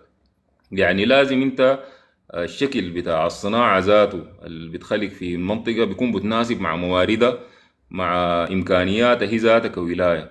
وده الشيء اللي بيخلق ال- ال- الفرق ما بين المناطق ذاتها. حتى الفرق اللي بيحصل في البيئة ذاته يعني بيتخلق بال- بالعوامل دي. يعني مثلا ناس آه، الدمازين مثلا لما يكون عندهم طاقة كهربائية عالية هم حيجيبوا صناعات بتستهلك طاقة كهربائية أكبر. فبالتالي بنلقى شنو؟ إنه برضه في نفس الوقت عندها هزرس عليهم يعني. يعني إنه مثلا الصناعات دي بتأثر بيئيا أكتر دائما الصناعات يعني بيتناسبوا مع بعض. الاستهلاك الكبير للطاقة بيتناسب يعني تناسب زي ما بقولوا شنو؟ يعني يعني تناسب طردي مع مع ال مع معاداة الاستدامة معاداة البيئة وكده يعني. فدي الحاجة اللي بتحصل في في المفروض إنه الناس تفكر بصورة يعني مختلفة في المواضيع دي يعني. ف يعني إحنا طبعا انتقاد الكلام ده كله طبعا بيكون يعني عبره فيه انتقاد لسياسات الدولة باستمرار وفيه كلام كتير كده عن إنه والله الحكومة السودانية عندها تقصير كبير. آه لكن طبعا دايما بقول إنه أنا أنا من رأيي إنه التقصير ده هو تقصير تاريخي. يعني هي دي ما عملية يعني حصلت امبارح ولا حصلت قبل 30 سنة زمن الكيزان ولا قبل 50 سنة. فالأخطاء دي أصلا أن إحنا ورثنا دولة من من الإنجليز من المستعمر. وحاولنا إنه نعمل لها برضه شنو؟ نعمل لها نستمر فيها هي ذاتها بنفس آه، الأسلوب اللي كانت هي شغالة به يعني. لكن الحاجة دي في محاولة بتاعت اختراق حصلت. يعني في الفترات حقت مثلا حكومة عبود حاولوا يعملوا مثلا يعني مصانع في الجنوب حاولوا يعملوا مصانع في دارفور حاولوا يعملوا مصانع في كردفان في الشمالية كده. لكن طبعا الموضوع كان برضو فيه عوز كبير ل يعني إنه يكون في تخطيط بمستوى عالي للحاجات دي يعني. والشي ده ما زال مستمرا. نخلي الأستاذ سودان إنه يخش معانا. تفضل يا أستاذ أو يا أستاذة. السلام عليكم ورحمة الله. مرحبا بك أستاذ أهلا وسهلا. حبابك ألف تحية لك يا باشمهندس تحية لضيوفك الكرام. تحية لك يا أخي ويا ريت لو عرفتنا على شخصك الكريم كده عشان نستفيد منك أكتر. الله يعافيك وأخوك عمران. مرحبا بك. الله يحييك. آه والله يا أخي صراحة يعني أنا يعني مبسوط منك شديد ليه؟ لأنك أنت طارح لك موضوع حساس في زمن صعب. يعني يستحق إنه الناس تتحاور فيه بإيجابية. وتنظر يعني بنظرة مستقبلية. نحن ما عندنا نظرة مستقبلية في السودان. دائما للأسف الشديد يا باشمهندس نظرتنا محدودة. ما عندنا قابلية للتطور. بل بنحب إنه دائما تطور الآخرين على حسابنا الشخصي يعني. بلد غنية بمواردها بتعدد ثقافاتها بإنسانها بأشياء جميلة كثيرة جدا جدا نحن ما عارفين قيمتها. بل الآن الناس بعد ما طلعت من البلد عرفت قيمة البلد الحقيقية وقيمة التراب الحقيقية يعني. فنحن مشكلتنا يعني دائما في منو اللي بيدير شؤوننا لكن ما مشكلتنا في البرنامج اللي بيدير آه، شؤوننا. أن إحنا والله يا باشمهندس صراحة محتاجين لإنه تتطور العقول. ومحتاجين لرجوع الضمير الحقيقي في المقام الأول الضمير الوطني الصادق الحقيقي. إحنا يعني مشكلتنا كلها هي بتكمن في الأنانية آه، والاستغلال آه، اللي هو استغلال النفوذ الوظيفي. وده السبب اللي خلانا إنه إحنا خارج مجال الصناعات الحديثة المتطورة. آه، يمكن الأ- الأغلبية العظمى من السودانيين حاليا طلعوا خارج البلد وشافوا الدول اللي حواليهم متطورة كيف وشافوا مواردهم نفسها كيف بتباع يعني. الموارد نفسها إن كان سمسم إن كان صمغ عربي إن كان آه، زيوت آه، إن كان فواكه إن كان أي حاجة. طيب ليه نحن ما فكرنا إننا نوضع برنامج حقيقي داخل البلد بحيث إنه الأشياء دي تطلع من البلد بدعم لوجستي كامل. يعني بطرق معبدة بوسائل بتاعة نقل حديثة آه، ال- ال- الصادر دي يعني اللي هي أنت طبعا بتحتاج ل- ل- ل- ل- ل- لشهادة ال- الجودة الآيزو 9001 بحيث إنه أنت منتجك ده من أجود أنواع المنتجات في العالم إن كانت خضر أو كانت فواكه أو كانت حبوب زيتية آه، أو كانت اي أي منتجات. طيب ما طول عمرنا إحنا منتجاتنا دي تطلع مواد خام بتستفيد منها دول بتصدرها منتج وبتنسب الم- ال- ال- المنتج آه، بالنسبة ليها هي يعني. ليه ما يطلع آه، المواد بتاعتنا تطلع من الدولة كمنتج وطني عليه دباجه صنع في السودان؟ خلاف كده اكتظت ال- الصناعات في مناطق محددة. أنا الليلة عندي أي منطقة من مناطق السودان ده منتجة إن كانت لثروه حيوانية أو كانت ثروة نباتية أو كانت جميع الثروات المختلفة يعني. دوله غنيه جدا جدا. فالدليل على كده الآن الحرب دي بينت لنا الحجم الحقيقي للدولة اللي نحن ما عارفينه لأنها كانت محتكرة من قبل فئات محددة في المجتمع للأسف الشديد. فبالتالي الآن البرنامج يكون برنامج شامل بضمير وطني صادق الناس تأسس ل... ل... ل... ل... ل... لمستقبل للأجيال القادمة. خلاص الناس العمر اللي عاشته ده ما معروف إنه الناس تاني تعيش ربعه أو تعيش نصه أو كده لكن توضع لها رؤية وطنية حقيقية من أبناء البلد. يعني أنا بستغرب يا باشمهندس إنه نحن الآن لما يجي يتكلم شخص في شأننا نحن ويورينا نحن كيف نعمل بنكون مستمعين جيدين. لكن لما نحن كسودانيين نتعامل مع بعض فيما بيننا. عندنا عدم التقبل نعترف يعني نحن ضمنيا بالحاجة دي عشان نقدر نمشي لقدام بنشوف إنه ده كلام فلسفة ودي حاجة ما بتبقى عندنا دائما بنحاول نشنف نفس نفسنا وبنشوف نفسنا إنه إحنا بعيدين. يا أخي خلاص الحرب دي كشفت لنا دورنا نحن الحقيقي ما ننخدع نحن زادنا دائما في الآخرين. نحن ونحن ونحن. نحن الليلة محتاجين لاننا نقعد مع بعض داخل الدولة السودانية دي ونأسس لإدارة حقيقية بضمير وطني. مش إدارة بتاعت زولي وزولك وقريبي وقريبك وفلان وعلان وده تبعنا وده ما تبعنا. ما في كلام زي ده تاني. أنا عندي كردفان منطقة منتجة آه لثروة حيوانية على طول أحاول إنه أنا أوفر حتى لو ما عندي إمكانية وين المشكلة إنه أنا أك- أكون عندي ربط بتاع استثمارات خارجية مع دول توفر لي آه، المسالخ الحديثة بحيث إنه المنتج نفسه يطلع لي من داخل المنطقة. أول حاجة بيساهم لي في في توظيف أبناء البلد وقلل لي نسبة البطالة في المنطقة. أجي لدارفور الآن دارفور دي فيها كمية من الموارد أيضا برضو نفس الشيء. أشوف أنا المنتجات الموجودة فيها أوفر لها الصناعات والصناعات التحويلية لأنه إحنا بنفتقر لها. إحنا عندنا صناعة الآن مصانع موجودة داخل الدولة عاجزين عن توفير آه، آه، قطع الغيار بالنسبة ليه ليه؟ لأنه ما حاولنا نتطور. ما حاولنا إنه إحنا نواكب ال- ال- ال- التطوير العالمي الموجود حاليا. يعني أنا اسي والله أنا شايفك إنك أنت ما شاء الله بتعرض في صناعات تحويلية حديثة وده ده مطلب الدولة السودانية. نحن عندنا فقر ضمير ما عندنا فقر يعني الفقر العام المعروف ده لا عندنا فقر بتاع ضمير لأنه فئات محددة هي اللي ممكن تشتغل في المجالات دي والآخرين لا. آه، عندنا إشكالية جوهرية بالنسبة للشباب المدارس الصناعية اللي هي المعاهد التقنية الحديثة زي ما موجودة حاليا في العالم. ليه ما يعاد تأهيلها يا, يا, يا, يا باشمهندس؟ بحكم أنه بتشمل جميع ال- النطاقات الحرفية. آه، من حدادة لخراطة لكهرباء لأشياء كثيرة جدا جدا بتدعم الشباب وبتخلي الشباب نفسه شباب منتج. فأنا ما عايز إنه نحن نكون مستهلكين للكلام عايزين عمل على أرض الواقع. خلاص الفات ده ما زي ما بيقولوا ما بيرجع. عايزين نشوف اليوم وبكرة نعمل شنو. فالحاجة دي إذا كانت ما نابعة من ضمير وطني صادق ما بتبقى. أما الليلة إذا كان مثلا زي التشاكس للأسف الشديد السياسي اللي عندنا كل واحد همه يقعد في السلطة بس عشان يمكن نفسه وحزبه وجماعته. ودي دي الدولة السودانية ما بتمشي تاني بالنهج ده نهائي. الدولة دي تمشي بنفس التعددية ونفس التنوع الثقافي الجميل الإرث اللي نحن لقيناه موجود داخل الدولة. أي منطقة من مناطق منتجة ل- ل- لموارد تتوفر لها الإمكانيات اللازمة بحيث إنه تكون آه، مناطق اقتصادية.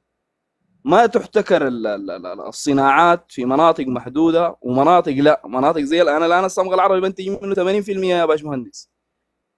ليه أنا ما أوفر مصانع بالنسبة لمناطق إنتاج الصمغ العربي؟ بحيث إنه أنا المصانع دي أطلعه من هناك كمنتج بأوزان مختلفة. تبدأ معاي من 200 جرام آه 500 جرام إلين 1000 جرام.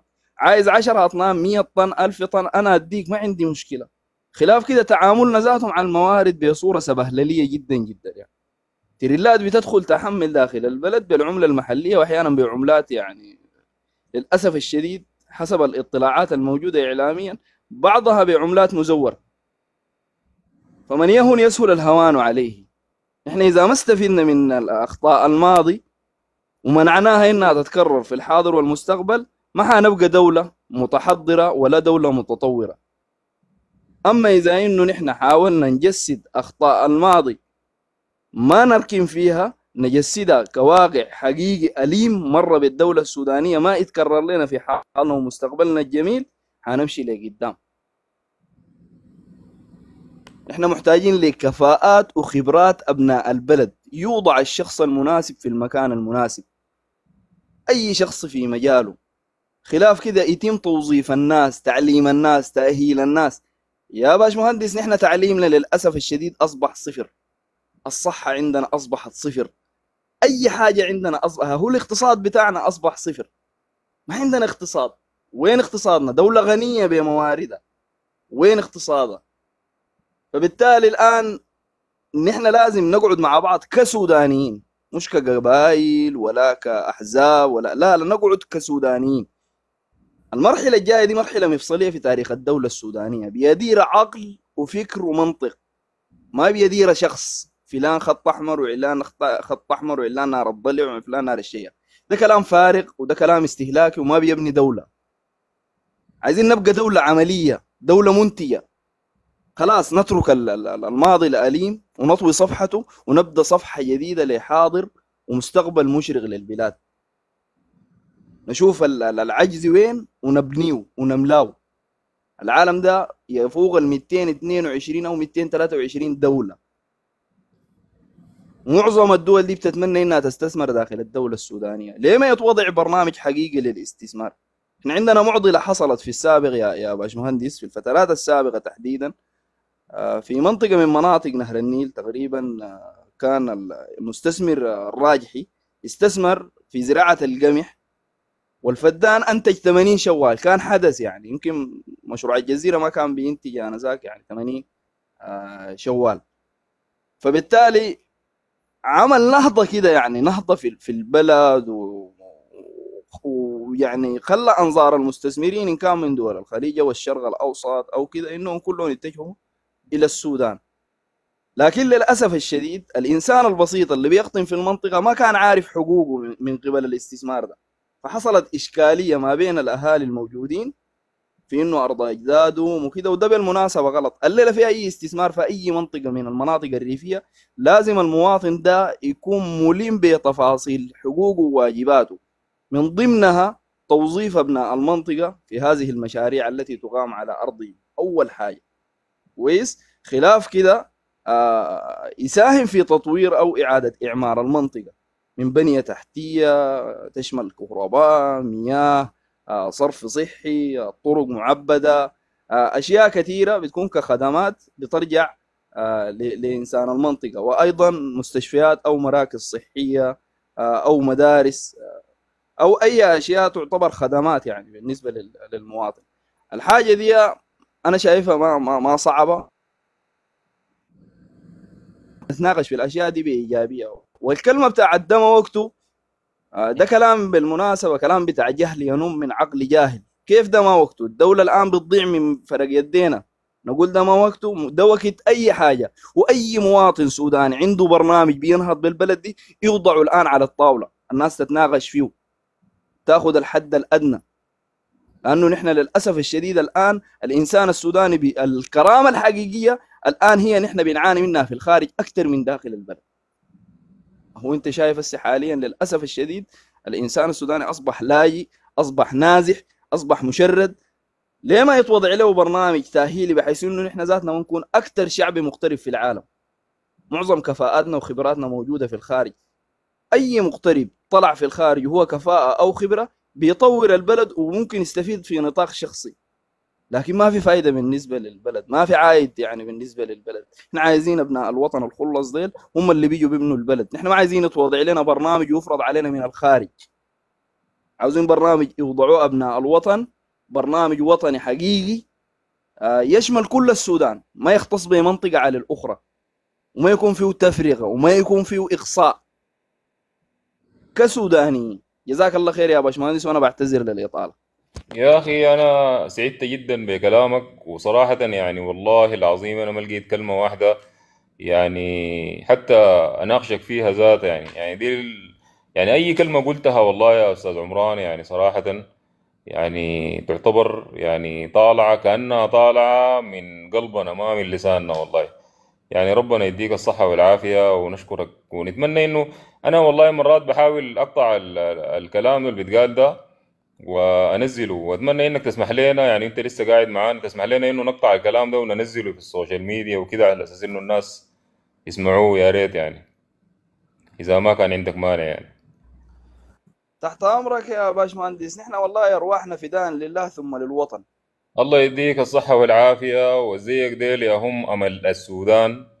ولا زيك ديل هم الناس اللي بتقدر تتكلم معاهم؟ يعني تقدر يعني ده كلام يعني بينمو يعني بيؤشر لشخصيتك ذاتها يعني. دي شخصية أول حاجة ده كلام بتاع إنسان يعني غير فكرة إنه مثقف وواعي.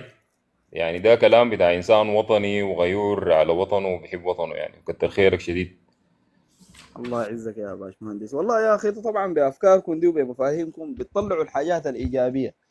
يعني نحن والله محتاجين إننا نحن نسمع بعض ونفهم بعض ونشوف الجوانا في شنو. الشعب السوداني ده بالمناسبة يا باشمهندس فيه خير. عقول ذكية عقول ناجحة. نعم يعني نعم. نحن عايزين الآن العقول دي تلقى لها بيئة آمنة بيئة ميسرة داخل البلد على أساس إنها تبدع. ما عايزين لنا إنجاز في الخارج ينسب لنا يقولوا فلان عمل كذا برا. لا لا عايزين أي إنجاز يكون داخل البلد. زراعة مراعي آه، موارد أخرى أي حاجة. وأرواحنا فداء لله ثم للوطن يعني. نعم. لا ربنا يديك العافية إن شاء الله. وكلنا بإذن الله نقدر نعمل كل اللي بنقدر نقدمه إن شاء الله لبلدنا في الأيام الجاية دي. وما حنفقد الأمل أبدا بإذن الله. الحاجة الأولى سي أنا والله طبعا كلامك ده شدة. يعني ما عجبني لما الناس حاول أعمله زي الأجندة بتاعت آه، باقي ال- باقي الكلام يعني. وكلام منظم ومرتب جدا. وفي البداية طبعا أستاذ عمران اتكلم عن الموضوع بتاع الموارد السودانية وإنها تباع في الخارج يعني بعيدة عن استفادتنا نحن كسودانيين. وطبعا يا جماعة نحن طبعا اتكلمنا إنه نحن يعني فترات طويلة جدا من الزمن نحن عبارة عن مصدر يعني مصدر يعني في العالم ده مصدر للمواد الخام. وكونك إنك تكون مصدر للمواد الخام دي فيها مشاكل كثيرة جدا جدا. وطبعا يتعرض لها برضو شوية كده ال- الأستاذ عمران. لكن يا جماعة نحن عندنا درجة بتاعت احتكار للخام السوداني ده من قبل آه، أطراف معينة. هدفهم الأساسي إنه الناس ديل إنه يكون بس عندهم دولار برا. يعني ما ما عندهم حتى أمل في فكرة إنه ينتجوا إنتاج محلي إنه يطلبوا حتى أنواع محددة من المنتجات الزراعية اللي هي عندها طلب عالي في في العالم يعني لمنتجات النهائية. دائما هم بيكونوا مركزين على المنتجات اللي هي هي ذاتها في السلع اللي هي في حد ذاتها سلع بتاعت عملة صعبة. يعني السمسم ده مثلا على سبيل المثال في العالم كله استخدامه حتى في المخابز حتى كمنتج نهائي هو عبارة عن سمسم بنسبة كبيرة جدا السمسم نفسه. يعني بيستغل السمسم كسمسم. الصناعات ذات اللي فيه يا جماعة زي الزيوت زي الحلويات. الفرق فيه يعني الفرق ما بين المنتج النهائي وما بين ال- الخام بتاع السمسم الفرق بسيط جدا. يعني القيمة ذاتها المضافة الممكن انت تضيفها على السمسم. لما تعملوا منتج نهائي هي قيمة قليلة جدا جدا. فالناس مصرة يا جماعة مصرة إنها نحن برضو نكون لسه مرهونين بعدد محدد من شنو؟ من المنتجات الزراعية. من المنتجات الزراعية الما ممكن ان نطلع من إطارة. يعني يعني إحنا عندنا أرض زراعية كبيرة جدا. لازم نفكر بصورة أعمق في إنه نعمل ربطة قوية جدا ما بين القطاع الزراعي وما بين القطاع الصناعي. يا جماعة المنتجات كثيرة جدا في العالم. البطاطس عنده كمية كبيرة جدا من المنتجات. فيها درجة عالية جدا من الأرباح. آه، في منتجات زراعية كثيرة جدا في السودان مهجورة. الناس بتستورد منتجاتها. عندنا كمية كبيرة جدا من النماذج. الناس يعني تكلمت عنها كثير جدا جدا. يعني لكن المشكلة الحقيقية الحاصلة هي الجزر المعزول الحاصلة في السودان. دي ما قادرة تخلق لنا ربطة قوية جدا ما بين القطاع الزراعي والقطاع الصناعي على أساس إنه الناس دي تقدر تطور ال- الخطط ذاتها تحت الإنتاج. يعني من الزراعة لحد المنتج النهائي ان إحنا محتاجين إنه نطلع بأفكار جديدة. والأفكار الجديدة دي ما بتكون بس في القطاع الصناعي لوحده لكن بتكون يعني عملية ناتجة من بداية الإنتاج الزراعي على أساس إنه يكون موجه يعني توجيه قوي جدا في سبيل إنه يطلع منتج صناعي على جودة عالية. الاستراتيجية يا جماعة بتبدأ باتفاق ما بين المنتجين كلهم إذا كانوا زراعيين إذا كانوا مزارعين أو إذا كانوا مصنعين. ولازم نحن نخلق تشبيك قوي جدا ما بيننا ونقدر إنه نفكر أفكار. والزراعة أصلا عملية بسيطة جدا في زراعات بتاخد لها أربع شهور. في زراعات بتاخد لها ستة شهور. يعني في زراعات بتاخد لها شهرين. دي كلها ممكن الناس تتوجه نحو إنها تقدر تعمل منتجات. يا جماعة في سلع في العالم أسعار زادت جدا. البطاطس والطماطم والحاجات دي كميات الإنتاج الموجودة عندنا في السودان استيل ضعيفة. الإنتاج بتاع ذاته لسه تعبان. الأفكار ذاتها بتاعت الإنتاج حقتها لسه تعبانة جدا جدا. يعني التصنيع بتاع المنتجات زي الطماطم دي يعني أنت عارف العلب بتاعت الصلصة دي كلها اللي دي في السودان دي الناس بيجيبوا الصلصة في جركانات وبيعبوها في علب صغيرة يعني. يعني حتى المنتج ذاته ما منتج محلي للأسف. ففي زيت الزيوت دي ذات اللي بنستهلكها إحنا زيوت الطعام دي كلها جاية من برا مستوردة بنسبة كبيرة جدا. في السودان بس بيعملوا لها عملية بتاع بروسيسنج بتاعت فلترة ولا حاجات فارغة كده بسيطة بسيطه وبيعبوها لنا فالناس يا جماعة فعلا فاهمة. يعني برضو الحاجات بصورة إنه نحن والله الخامات الموجودة عندنا كثيرة وكلها بتضيع وكده برضو بالرغم إنه إحنا عندنا والله مشكلة بتاعت إنتاج كبيرة جدا حتى في الإنتاج الزراعي. وبعدين في احتكار كبير جدا للخامات دي يا جماعة بصورة كبيرة جدا جدا.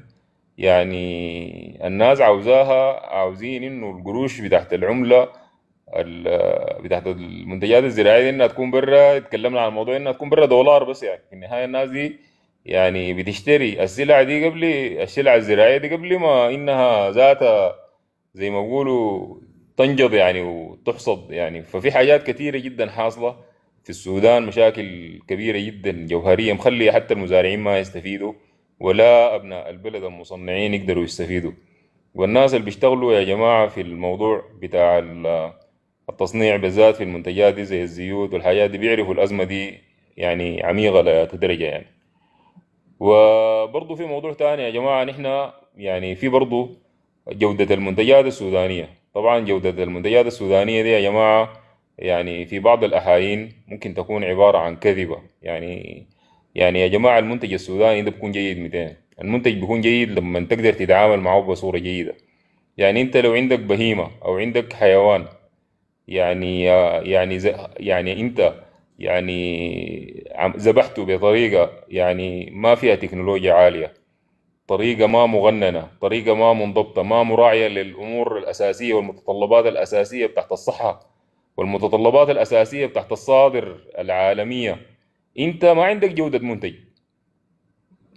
ما عندك جودة بتاعت منتج. جودة المنتج دي يا جماعة عملية بيدخل فيها حتى المراحل بتاعت الإنتاج ذاتها كلها ما التربية بس. يعني حتى النقل بتاع ال- ال- البهيمة دي ذات أنت لما تجيب لك بهيمة من دارفور تجيبها بكرعينة كارية كده لحد المسلخ في الخرطوم يا جماعة دي دي بهيمة فقدت جودتها. يعني نحن عندنا مشاكل كبيرة جدا بتاعت إنتاج. يعني البهيمة دي لما تكون هناك قاعدة قبلها في دارفور هناك يعني تذبح في دارفور وتذبح في بيئة ممتازة وتتعبى بطريقة ممتازة وكل منتجاتها دي ذاتها تتعامل بطريقة ممتازة في اللحظة دي يا جماعة. إحنا ممكن نقول إنه إحنا عندنا منتج جيد لكن يعني في خرافات. أنا بفتكر إنه العملية بتاعت إنه والله نحن منتجاتنا يا جماعة جيدة بحكم إنها بس جينات عملية بتاعت جينات كده. دي عملية فيها درجة عالية جدا أنا بفتكر من السذاجة يا جماعة. نحن بنظلم نحن بنظلم نفسنا بنكذب على نفسنا بنخدع نفسنا. للأسف الشديد. فيا جماعة عملية الإنتاج دي يعني عملية جزء أساسي إنك تفكر فيها من بدايتها. يعني مما البهيمة دي مرقت من بطن أمها كده لحد ما بقت في كيس بتاع برجر يعني دي عملية كلها مكتملة. لازم الدولة يكون منظورة لل- للحاجات دي يعني بيصير بصورة متكاملة ومغننة ومدروسة بصورة جميلة وتشوف الناس برا ذاته بيعملوا شنو يا جماعة؟ يعني والناس برا دايرة شنو؟ يعني انت ما بتفهم في في الأساسيات بتاعت بتاعت ال- البروسيس المطلوب مستوى الجودة المطلوب برا. انت عندك مشكلة انت عندك أزمة كبيرة جدا جدا. الحاجة دي يا جماعة حاجة متكاملة. يعني ما في حاجة في الدنيا دي بتاخدها انت يعني بصورة جزئية. آه تاني يتكلم والله برضو آه كلام بمس آه، بمس القلب زي ما بيقولوا كده بالذات في عملية عدم تقبل السودانيين لبعضهم البعض. يا جماعة يعني أنا مصر على فكرة إنه ال- الأفكار يعني اللي بتجينا من برا دي دايما يعني ما بتكون أفكار صادقة ولا بتحل لنا مشاكل مشاكلنا يعني. يعني صراحة في مشكلة كبيرة جدا بتاعت إنه نحن بنكون راجين يعني إنه الناس تفكر لنا وتحل لنا مشاكلنا. لكن يا جماعة صراحة يعني ما في يعني ما في ناس عارفة مشاكل السودان. ما في ناس عارفة مشاكل السودان زينا. يعني إحنا كسودانيين عارفين السودان ده كويس عارفين مشاكله عارفين آه، يعني العمق بتاعه قدر شنو.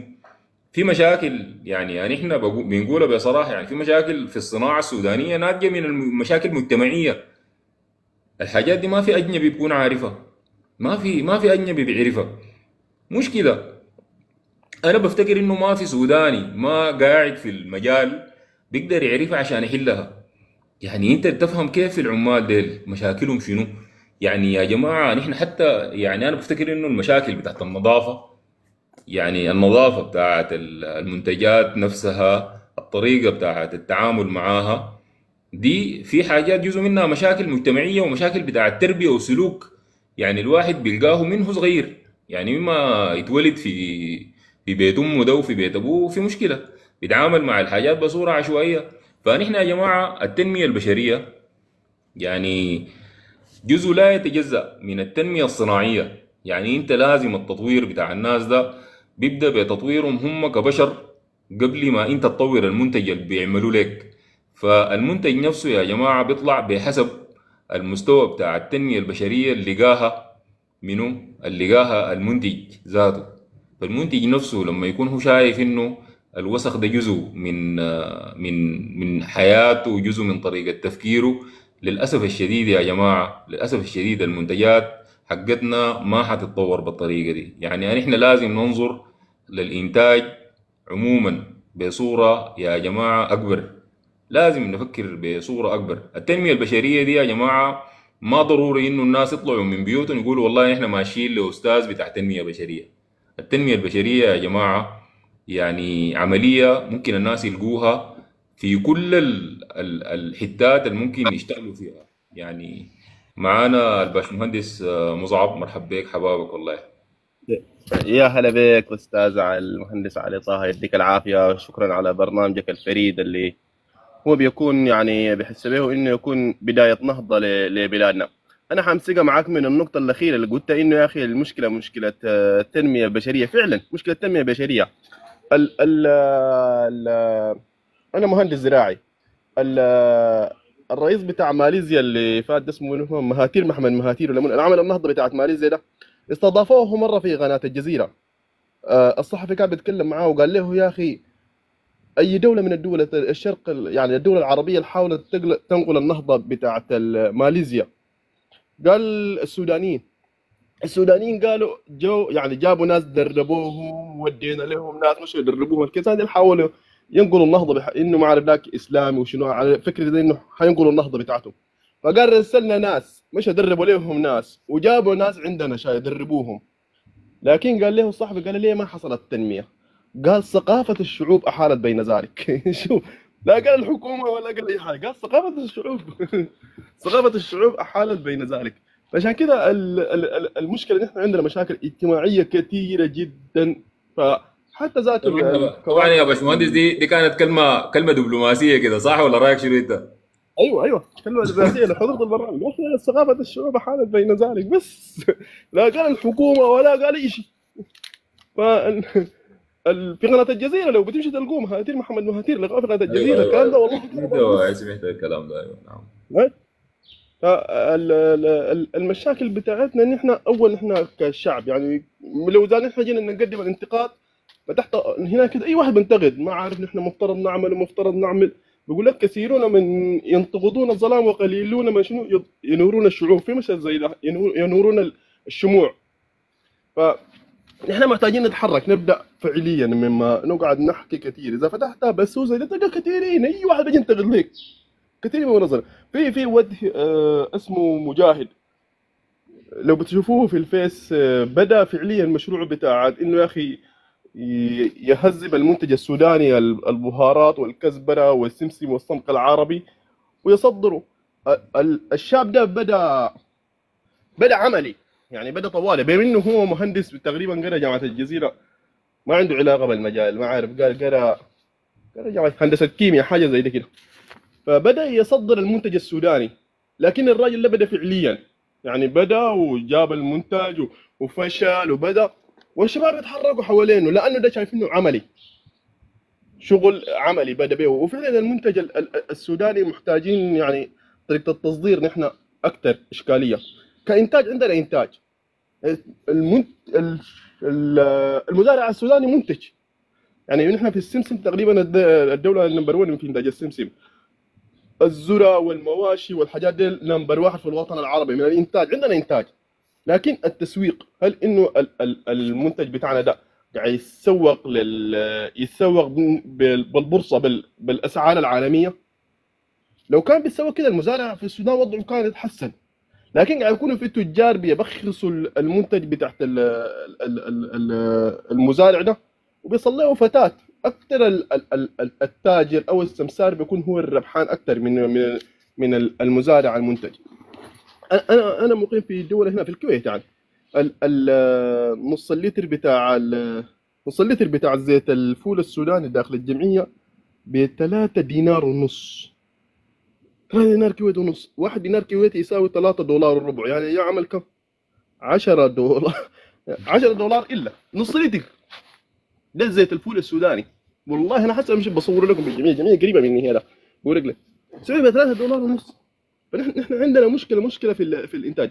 في في النقطة اللي أنت قلت أخي ال- المنتج بتاعنا كجيناتيك آه، نحن معولين عليه. آه، أنا بقول لك يا أخي والله بجد ده حاجة نعول عليها أنا بقول لك إنه المشكلة بتاعت ال ال ال ال ال ال الجينات ال- الخضار المعدل الوراثيه وأنا شغال في السوق بتاع الخضروات دي ال ال- الخضروات المعدله وراثيا هنا مشكلة كبيرة جدا. يعني بيقولوا إنه مشكلة العالم المشكلة بتاعت العالم المشكلة بتاعت إنتاج. عدد السكان في العالم بيزيد بمتتالية هندسية يعني 2 4 8 كده. ماشي. وعدد ال- الغذاء بمتتالية حسابية واحد اثنين كده. مشكلة الاحتباس الحراري والمشاكل دي كلها خلت ال- ال- ال- المنتجين أو المزارعين يلجوا للتعديل الجيناتيك في الخضروات ودي إشكالية جدا. الخضار ده بيصل هنا وبيبوظ.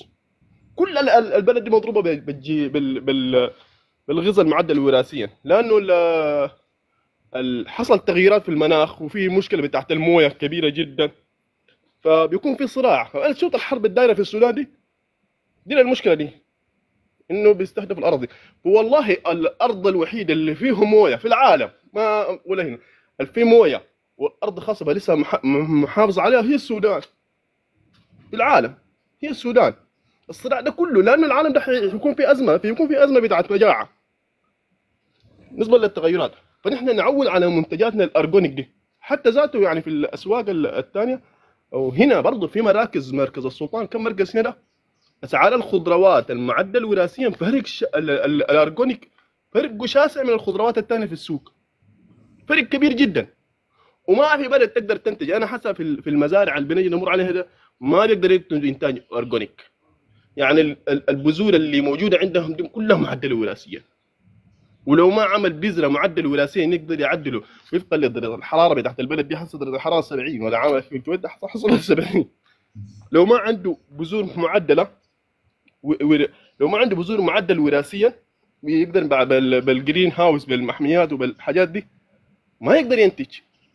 لا نحن في السودان بنقدر ننتج.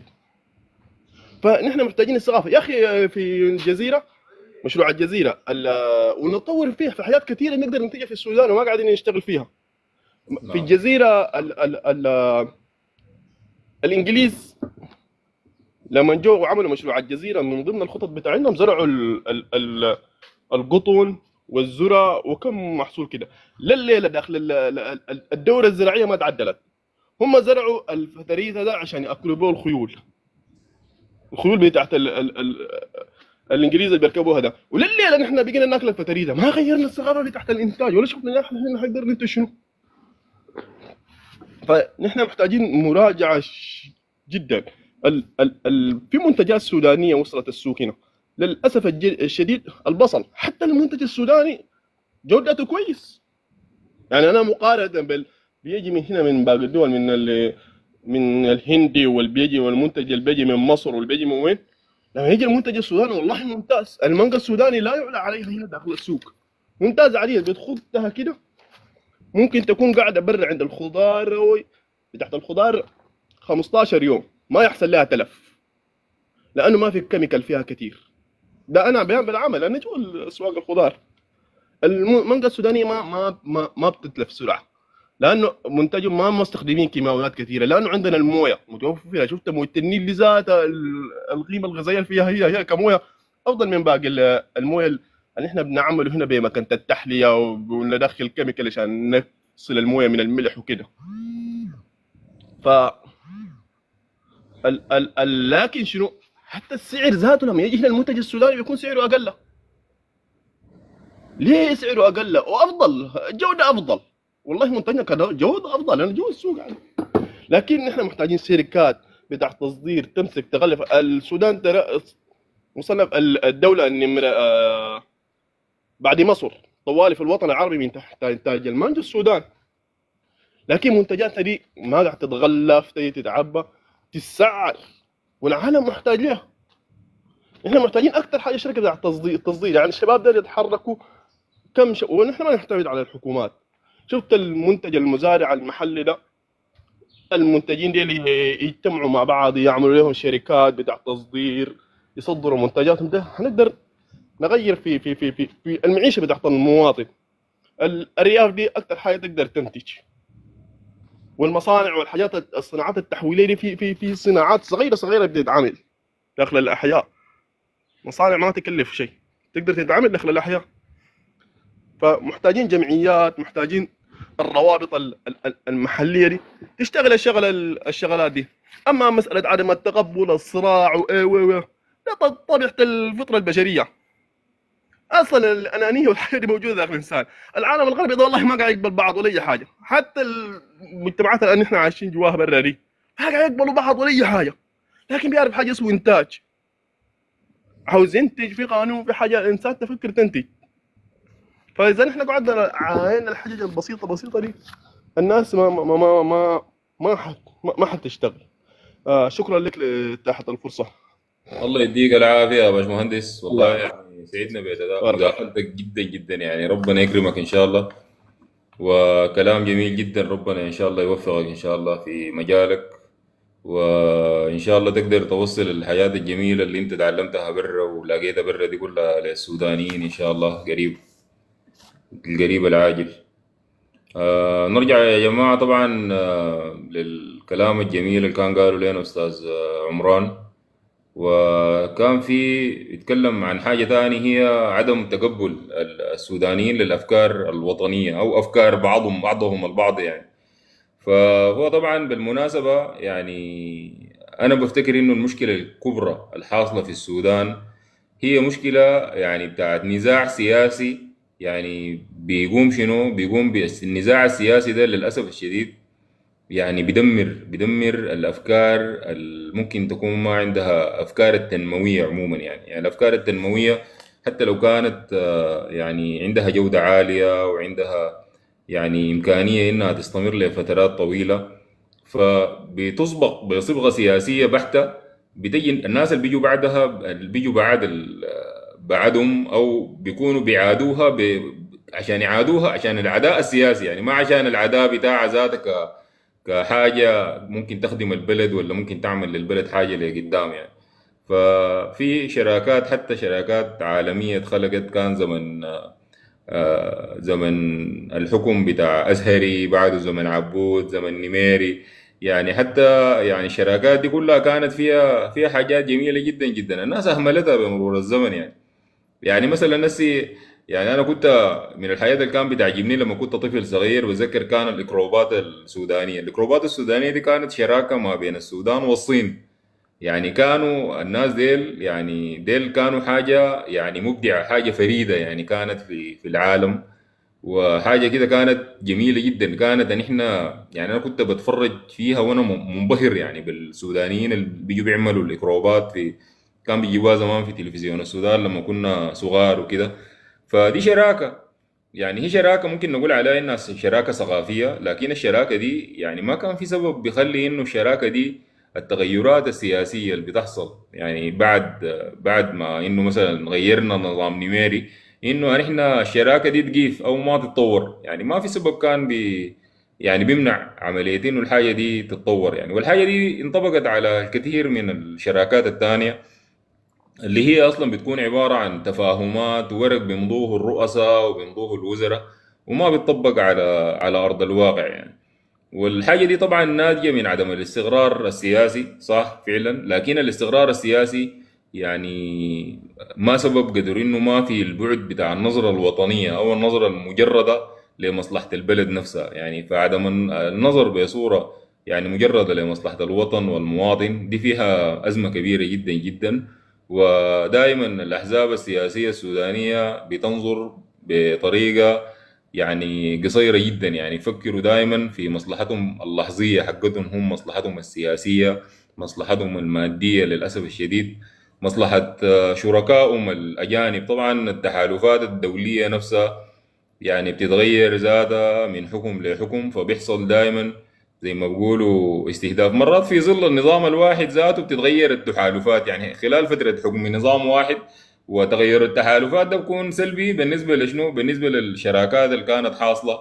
يعني في الفترة قبل ما إنه النظام ده يغير تحالفات يعني. فنحن فعلا كسودانيين عندنا أزمة كبيرة جدا في في تقبلنا لبعض يعني وتقبل اختلافنا. يعني الشيطنة للطرف الثاني دائما بتكون مبنية يعني ما مبنية على انت بتقعد كده بتكون بتعاين للواحد ده في عيونه دار تعرف هو حزبه شنو عقيدته السياسية شنو فهموا شنو في الدين فهموا شنو في ال... جاي من ياطو منطقة بتاع عشان بعد ذاك انت تقدر تقيم بعد ذاك التح... انك تتعامل معه ولا ما تقدر تتعامل معه. ودي حقيقة نحن كلنا بنعاني منها يعني يعني وبقت ظاهرة جدا. يعني في السودان يعني. بيجي في واحد كده انت بس بيشوفك ساكت كده في الشارع كده بيشوفك من شكلك بس بيغيمك انت من ياطو منطقة وبيبدأ بيستهدفك طوال يعني. أو حتى لو بتتكلم في أي حاجة من الحاجات ودي أزمة كبيرة جدا. إحنا عشان نمشي ببلدنا دي لقدام ونمشي بيها كده زي ما هي يا جماعة زي ما هي السودان ده ذاته الكلام ده طبعا حذرونا منه ناس كتار ونحن لازم نعمل حسابنا منه.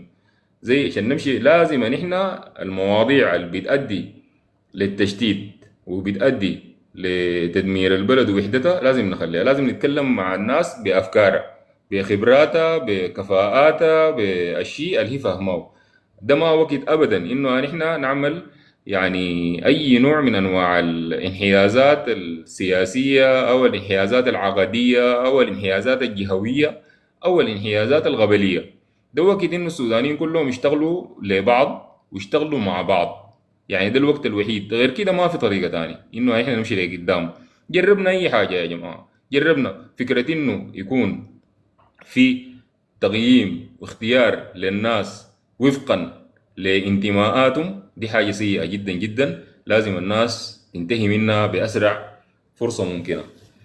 آه كان برضو اتكلمنا كان يعني الصناعات في مناطق السودان كلها وكردفان طبعا. كردفان بثروات الكبيرة.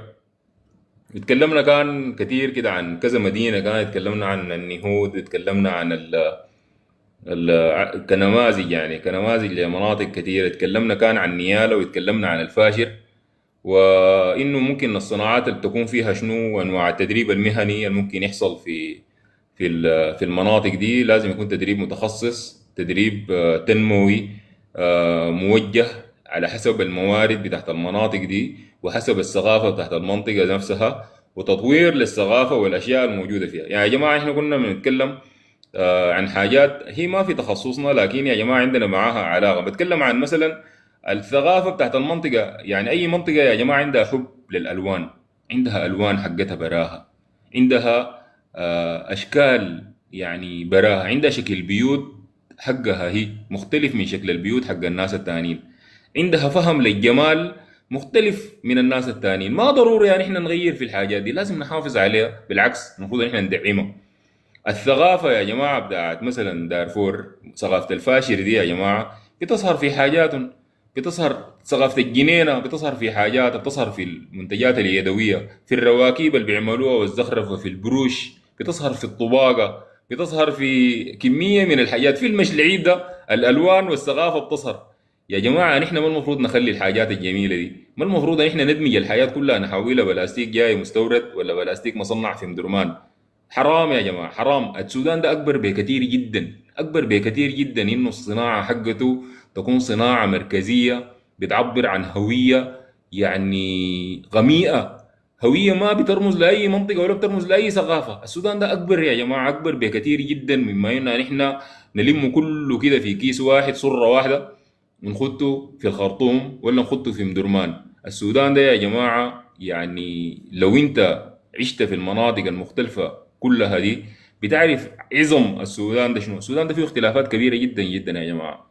يعني في مناطق كثيرة جدا في دارفور حتى حبهم ذاته للألوان وبيختلفوا من ناس. دارفور ذاتهم لازم نحن ذاته. دارفور دي ما واحدة ما واحدة أبدا. الناس ديل حتى اللبس اللي بيلبسوه ذاته حتى الاكسسوارات اللي بيلبسوها في رقابهم دي واللي بيلبسوها في يدينهم يعني لبسهم ذاته زيهم ال- اللي بيلبسوه ذاته بيختلف من بعض يعني ما واحد يعني. الحاجات دي كلها يا جماعة بتظهر في الصناعة. الصناعة دي يا جماعة هي الشيء الأساسي الممكن يظهر لنا الاختلاف الكبير والكثير والجميل الموجود في السودان ده. والناس ما بتقدر تهتز بحاجتها إلا إنه كل منطقة يكون عندها الشيء اللي بيميزها. يا جماعة يعني ده حرام حرام إنه ان إحنا نقوم أي حاجة في السودان ده نعملها في الخرطوم. حرام إنه المجتمع القاعد السند المركزي ده إنه يكون هو البنتج للسودان كله. يعني لازم يحصل تغير لازم حتى الكيس بتاع البرجر يا جماعة كيس البرجر ده اللي بيجينا من الضعين ده ولا بيجينا من الفاشر ولا بيجينا من آه، يعني من النهود يا جماعة. لازم الكيس ده بيبر الألوان اللي فيه ذاتها الألوان اللي في الكيس حق البرجر ده. واسم الشركة ذاته اسم الشركة ذاته يعني لما يكون مكتوب بورا لازم اسم الشركة ده يدي إحساس بالمنطقة.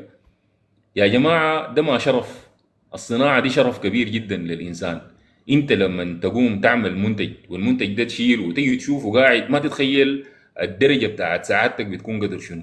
انت لو صنعت بس قارورة قارورة ساكت بتاعت قارورة ساي بتاعت زيت يعني قارورة الصغيرة دي ال 250 ملي دي لما تمشي تلقاها في بغالة محترمة قاعدة كده ومكتوب فيها صنعت في مدينة النهود ولا صنعت في مدينة آه، الضعين ولا صنعت في مدينة نيالا وتكون شكل العبوة ذاته بيرمز لمنطقتك دي.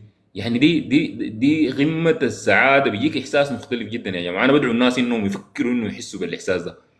الحاجة دي عملية ما سهلة فعلا. يعني في بلد زي السودان عملية ما بسيطة. لكن يا جماعة عملية ممكنة. أن إحنا يعني ما أقل من الناس بشيء من الأشياء ولا بلدنا دي أقل من البلاد الثانية بأي شكل من الأشكال. أن إحنا مشكلتنا إنه عندنا سياسات بتاع الدولة السياسات دي بتكرس لفساد كبير جدا جدا في المجال الاقتصادي استمرت لفترات طويلة جدا. الحاجة دي أن إحنا لازم نقضي عليها بأفكارنا بمقترحاتنا بكلامنا فيها باستمرار يعني. يعني انت يا جماعة يا أخي انت قاعد في انت اتولدت في بلد عشت حياتك دي كلها في فشل اقتصادي عشت حياتك دي كلها في ظل فشل تخطيطي. كبير جدا جدا. ما في شيء تاني يعني. ما في حاجة أنت تخاف منها ذاته يعني. ما في حاجة بتخليك تخاف. تخاف ليه يا جماعة؟ اتكلم بس. اتكلم. اتكلم بحرية. اتكلم يا جماعة بأقصى درجات الحرية. ما تخاف نهائيا. ما تخاف. ما تخاف. ما أنت يا جماعة الفسد ديل جزء مننا قاعدين في مجتمعنا. الجزء ده جزء مننا وقاعدين في مجتمعنا يا جماعة. يعني قاعدين معانا. الناس ديل قاعدين جزء مننا وحايمين معانا. يعني في من حتة لحتة الناس ديل يا جماعة ما بيرمزوا لمنطقة معينة ما بيرمزوا ل... الناس ديل كلهم بيشيلوا خيرات. المناطق دي البعيدة والطرفية دي بيجوا بيجيبوها في السنتر بتاع السودان وكلهم مع بعض بيصدروها برا بيتعاملوا معاها تعامل مختلف بيفسدوا بيها. دي كلها حاجات إحنا لازم يعني ده جزء من تنميتنا إننا إحنا لازم نتكلم عن المشاكل دي يعني مشاكل الفساد الكبيرة في البلد دي. إحنا لازم نتكلم عنه. يعني أنا ما ممكن أنا يا جماعة أحل مشاكل الولايات دي كلها من غير ما أتكلم عن الفساد. يجيك واحد يقول لك أنت يعني حلك شنو؟ يعني للمواضيع دي. حللنا إن إحنا نمشي الولايات دي ذاتها. الحل الوحيد يا جماعة إنه الناس دي تمشي تشتغل هناك. أنت داير تطور الولاية دي كيف يعني؟ يعني أنت داير تطورها ب... يعني أنت بتتكلم عن إنه الناس دي يعني ما دايرة حتى يعني ما دايرة حتى إنها يعني تفكر برا المنطقة. داير تفكر برا المنطقة. يا أخي إحنا حصلنا مراحل إنه الولاة ذاتهم بيكونوا قاعدين في الخرطوم. والي بتاع ولاية أو حاكم بتاع محلية بيكون قاعد في الخرطوم وداير يحلحل مشاكل الولاية قاعد بأسرته وأولاده يعني في الخرطوم ويقول لك إنه داير أنت تحس كيف بمعاناة الناس وتطور الولاية دي كيف؟ ما حتقدر تطورها ولا حتعرف تمشيها لقدام أصلا. فيا جماعة الموضوع ده محتاج لشغل كبير جدا جدا.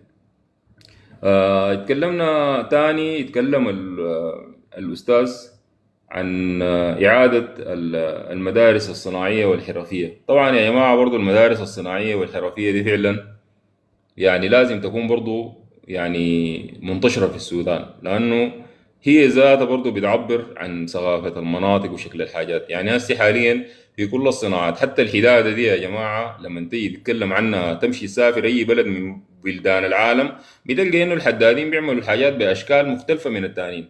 فالهوية نفسها بتاعت المنطقة بتظهر في المنتجات دي يعني. وبظهروها الناس اللي بيكونوا شغالين فيها ذاتها هناك يعني. يعني التميز ده بيجي من هناك. لكن لما تيجي تلم الحدادين دول كلهم في السوق الشعبي أم درمان بيكونوا كلهم قاعدين وبينتجوا هناك وكده فأكيد الحاجة دي بتخلق يعني نفس الصيغة نفس البدل نفس الفهم نفس أي حاجة تكون قاعدة موجودة في منطقة واحدة شغالين فيها الناس. فتنوع المناطق الصناعية دي وتنوع المنتجات باختلاف المناطق بيخلق تنوع في المنتجات وفي شكلها نفسه. ودي بتنطبق على كل الصناعات التانية إذا كانت صناعات خشبية أو معدنية أو غذائية. والحاجة دي إحنا لازم يعني نمشي فيها بصورة كبيرة لقدام يعني. آه بعد ذاك طبعا يا جماعة يعني الموضوع اللي اتكلم فيه تاني كان اتكلم لنا في موضوع جميل جدا اللي هو موضوع إنه لازم يعني نحافظ غير إنه لازم نحافظ على تنوع الدولة. آه، في موضوع كبير جدا عن عن الصمغ العربي. طبعا الصمغ العربي ده يا جماعة أنا والله قابلت ناس كتار عملوا فيه يعني بحوث كبيرة جدا جدا يعني. يعني في ناس عملوا بحوث كبيرة جدا في في المواضيع. اللي هي خاصة بموضوع الصمغ العربي ده يعني بحوث صناعية يعني بحتة. يعني الناس ديل يعني في ناس كتار سودانيين حصلوا مراحل متقدمة جدا في طريقة التصنيع بتاعه وال processing بتاعه والتطوير وكده. لكن طبعا يا جماعة واضح إنه الناس دي ما ما في ناس عاوزة تمول حتى افكارها يعني وتجاربها يعني انت داير تطور الحاجة دي كيف؟ الحاجة دي ما تتطور بإنه نحن والله يعني لازم يكونوا الناس دي يعملوا الحاجات التطور ده يعني يعني المنتجات الطالعه من الصمغ العربي دي وطرق تعبيته والتقنيات دي لازم تمارس ولازم الناس يجربوها ويطوروها حتى بعد ذاك نحن نقدر نطور الحاجة بالعموم يعني. يعني كل المنتجات السودانية ما حصل اتطورت في تعبيتها ما حصل اتطورت في معالجاتها أصلا يعني. فالصمغ العربي زيه زي كل المنتجات الثانية هو طبعا من أهم السلع الاقتصادية الموجودة عندنا في السودان. لكن يا جماعة الناس ما اشتغلت فيه. الشغل ال- الشغل أنا بتكلم عن الشغل بتاع ال- البحثي الشغل البحثي والشغل بتاع التفكير والشغل بتاع التطوير الصناعه في المجال ده الناس ما اشتغلت فيه كتير. ده كله شغل يعني يا جماعة بتاع بتاع شنو؟ بتاع ناس آه، يعني زي ما بيقولوا بسيطين. أنا الأستاذ السيد الشريف كيف أحوالك؟ إن شاء الله طيب يا أخي. أنا والله داير بفتش وأنا ذاته هسي محمد عبد الرحمن ده لكن ما الاقي وين هو؟ أيوه محمد عبد الرحمن. هو ما عمل طلب لكن بتاع قسط أنا هسي عملت له إضافة وعملت له دعوة.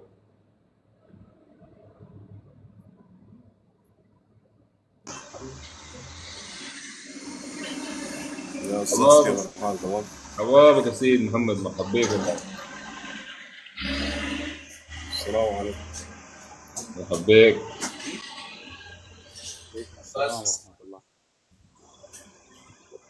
كيف الحال تمام؟ نحمد الله ونكون شاكرين مرحبا بك يا ريت لو عرفتنا عليك وعلى الحمد لله والله بخير. والله يا أخي أنا محمد سعيد عبد الرحمن محمد سعيد. عليكم السلام ورحمة الله وبركاته. الحمد لله. كيف أخباركم وصحتكم؟ تفضل تفضل. الحمد لله والله تمام 100% والله. والله ما شاء الله. مواضيعك سمحة يديك العافية. الله يبارك فيك. نسأل الله إنه يرد غربتنا والوطن يتصلح ونعود ويعود الوطن المسروق كيف اخباركم؟ الحمد لله. تفضل تفضل طوالي نسمع إضافتك. والله طبعا أنا ما سامعك بتتكلم قلت عن الصمغ العربي ما الصمغ العربي. وطبعا دي ثروة. الناس ما جاي من لا خبر. ثروة مهدورة. نصها تطلع تحريف والناس تبيعها باسم دول أخرى. يقولوا دي الدول مصدرة ومنتجة للصمغ العربي. وفي نفس اللحظة طالع من السودان يعني. ده الشيء المؤسف. ناس بيطلعوا بيتهدوا وبيسرقوه وبيشوفوا يصدروا لدول تانية وبيقولوا خلاص. ده المنتج ده من دولة أثيوبيا مثلا. وأثيوبيا ما عندها أي علاقة ولا شجرة واحدة ما عندها. دي الكارثة الكبرى. لكن نسأل الله إنه يجيب لنا إنسان وطني يخدم الوطن بإخلاص. وأنا داير أتكلم لك عن حاجة تانية برضه لكن متعلقة بنفس الإنتاج بتاعنا ال- النباتات الطبية. يعني أنا ما أقول لك يعني مشيت فيها كثير لكن بديت فيها يا دوب والحمد لله. ووصلت كمان مع دكتور اسمه عبد الباسط السيد من جمهورية مصر. والحمد لله يعني تعلمت منه الكثير يعني من ضمن النباتات الطبية الم- المفروض ان إحنا نطرحها فيها عشبة اسمها الجنكي بيلوبا. والجنكي بيلوبا دي حاليا بيستخلصوا منها مادة بتعالج ضمور خلايا المخ. يعني الناس الأطفال اللي بلدهم إنهم نقص في الأكسجين. حاليا مطلعين منها أدوية في حبوب بالنسبة للناس الكبار. يعني زول لو عدى العشرة سنة 15 سنة ممكن يتعاطى أقراص والأكسجين بيرجع للدماغ وبيتعافى من الإعاقة الذهنية. والشيء الثاني ضعف في عضلة القلب. أو العضلة بتاعت القلب دي لو حصل فيها لا قدر الله تضخم ولا كده في عشبة اسمها الزعرور البري. والزعرور البري دي موجودة في سوريا هناك يعني ما موجودة عندنا للأسف. ونحن ما قاعدين نهتم بالحاجات دي. ودي بتعالج ضعف عضلة القلب نهائيا. يعني لو مثلا إنسان بيتعاطى حبوب على طول وحقن وهنا حاجات دي غالية جدا جدا ومكلفة. يعني يمكن إحنا نجيبها كعشبة ونجي نصنعها في السودان. يعني دي دائما داير لها صيدلي كفو داير لها دكاترة كده كبار يقعدوا في الوطن. وهسه حاليا المصريين منتجين منا دواء شراب اسمه التنكان التنكان ده بيدو نقطة للطفل في خشمه بالقطرة ياخد ده جرعته الكافية والأكسجين بيرجع للدماغ وال... المشكلة بتاع ضمور خلايا المخ بتنتهي. عندك في عشبه ثالثه اسمها البردقوش. والبردقوش ده حاليا مصر بتنتج منه كميات كبيرة بتصدرها لألمانيا.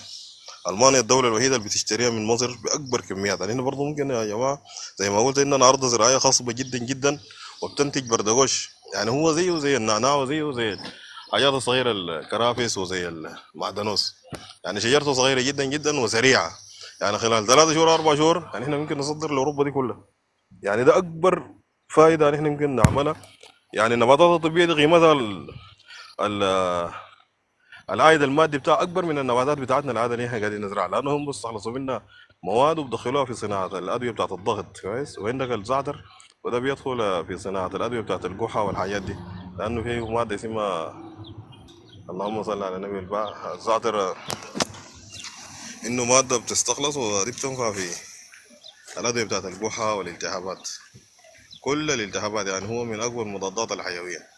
كويس؟ عندنا برضه الصمغ العربي لو ضفنا له المره المرة دي نفس الصمغ ده لكن هي مرة شديد يعني في طعمها يعني, يعني زي اسمها. كويس؟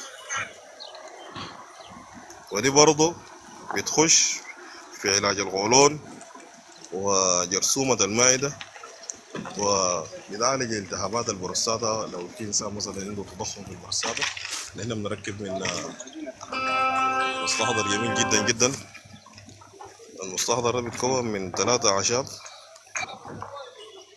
المستحضر ده بيتكون من ثلاثة أعشاب والمستخلص بتاعه بيعالج تضخم البروستاتا أو التهاب البروستاتا يعني بينتهي منها نهائيا.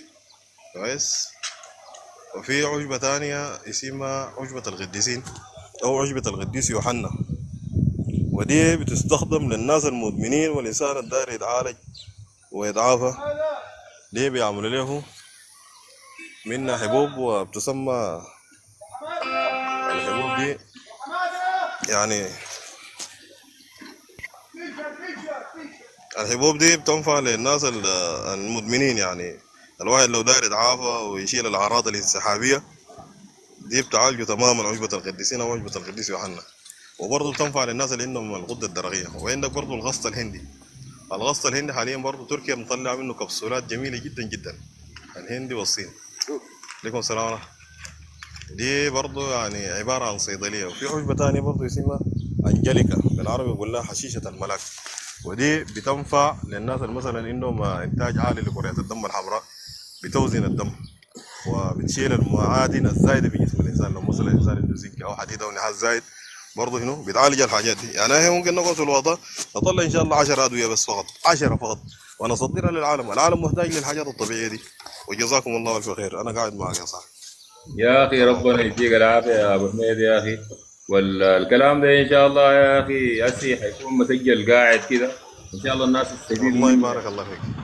الله يكرمك بالذات ويوفقكم للأضوية بتاع تضخم عضلة القلب. يعني ربنا أنا يوفقكم في مشروعكم ده يعني شديد يعني والله. ندعو لكم كده ونتمنى نساعدكم ذات كمان في أي حاجة تطلبوها. إن شاء الله لقدام نقف معاكم فيها باذن الله. والله يعني إحنا ما محتاجين لأي دعم. بس الناس لو عرفت المنتجات دي فقط واستخدمتها حيشيل لها الأمراض دي نهائيا. يعني الإنسان بي- بيبقى متعافي ونحن حنعمل إن شاء الله مشروع لقدام ونصدر للدول الثانية. لأنه لا هسه ما في لا دولة قاعدة تصدر غير مصر. مصر هي طبعا الدولة الوحيدة اللي نجحت في المجال ده.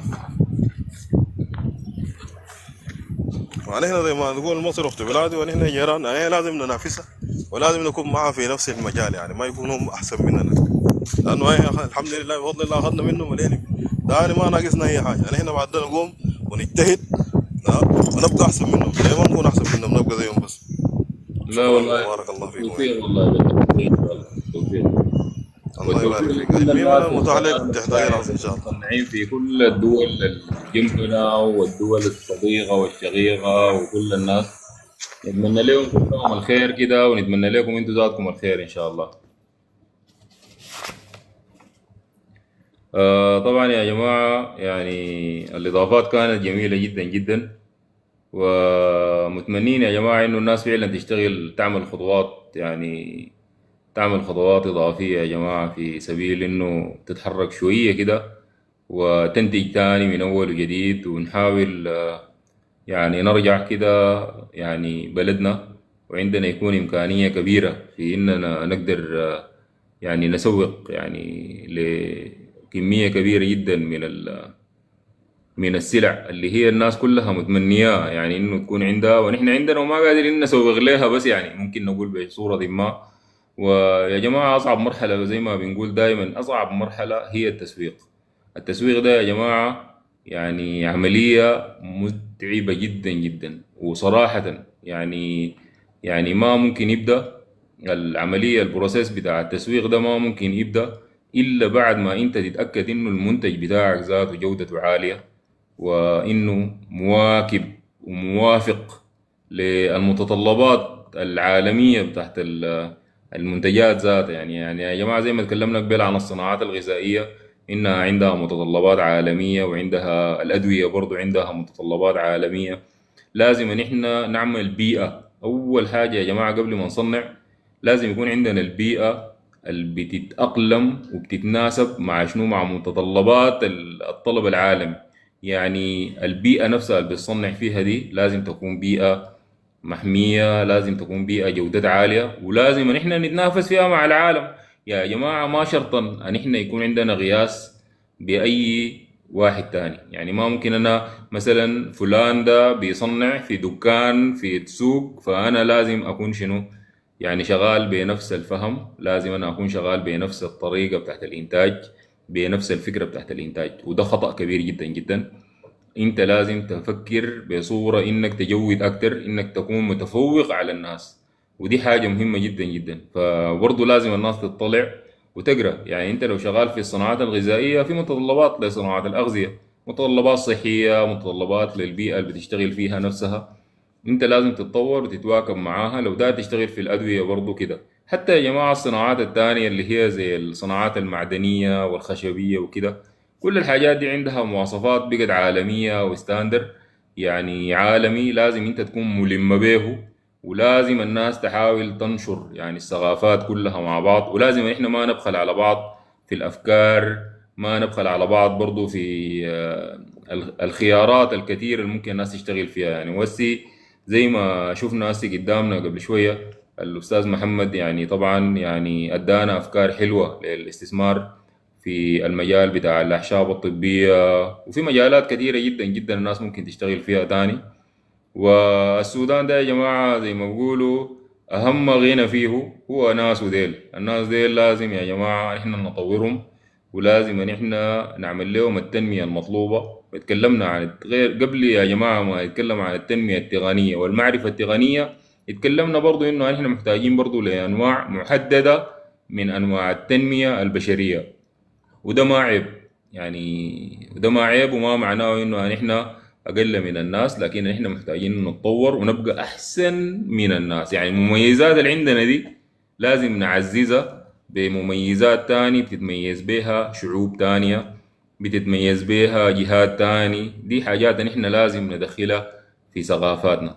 يا جماعة الإنتاجية ما إصرار وما قوة بدنية.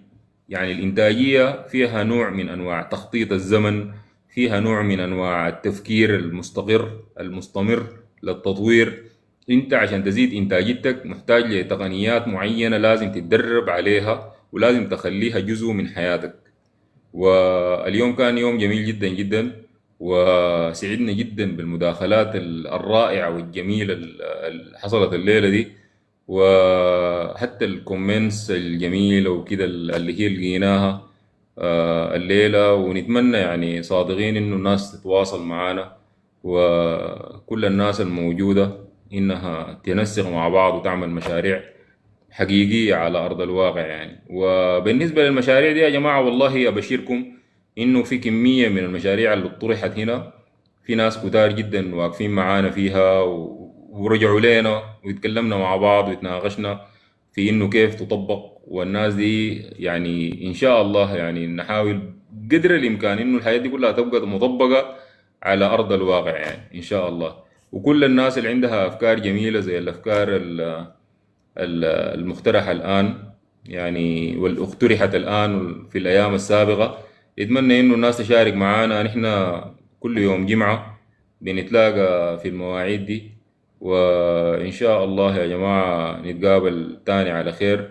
وبالنسبة للناس اللي بيقترحوا إنه يتقابل نعمل لايفات بالمسا إن شاء الله والله. لكن طبعا آه الناس كلها طبعا عندها ظروف بتاعت شغل كده مختلفة وكده. ونحن طبعا يعني زي ما بيقولوا الناس بتختلف في الزمن بتاع الافيلبل المتوفر. ويوم الجمعة ده صباحية كده اللي هي المواعيد اللي قبل صلاة الجمعة كده والحاجات دي. يعني صراحة هي بالنسبة لنا موا- مواعيد مريحة كده. لكن إن شاء الله آه، نحاول لقدام إنه نعمل لنا لقاءات تانية. يعني إحنا يوم الجمعة بنتلاقى الساعة الثامنة بتوقيت مكة المكرمة آه، كل صباح جمعة الساعة 8 صباحا بتوقيت مكة المكرمة الساعة يعني سبعة صباحا بتوقيت السودان يعني يعني إحنا متمنين إنه ناس السودان ديل يكونوا بيشربوا الشاي كده شاي الصباح كده معانا كده إن شاء الله يوميا ويدونا كده مع الشاي ده كده الأفكار الحلوة ذاتها بتكون آه، زي ما بيقولوا المصريين على ودنه فنتمنى يا جماعة إنكم آه، تشاركوا معانا إن شاء الله بحياتكم ال- الجميلة الحاصلة دي يعني. وإن شاء الله يا أخي كتر خيركم كتر خيركم كلكم على الكومنتات وعلى الحياة الجميلة. السلام عليكم ورحمة الله تعالى وبركاته.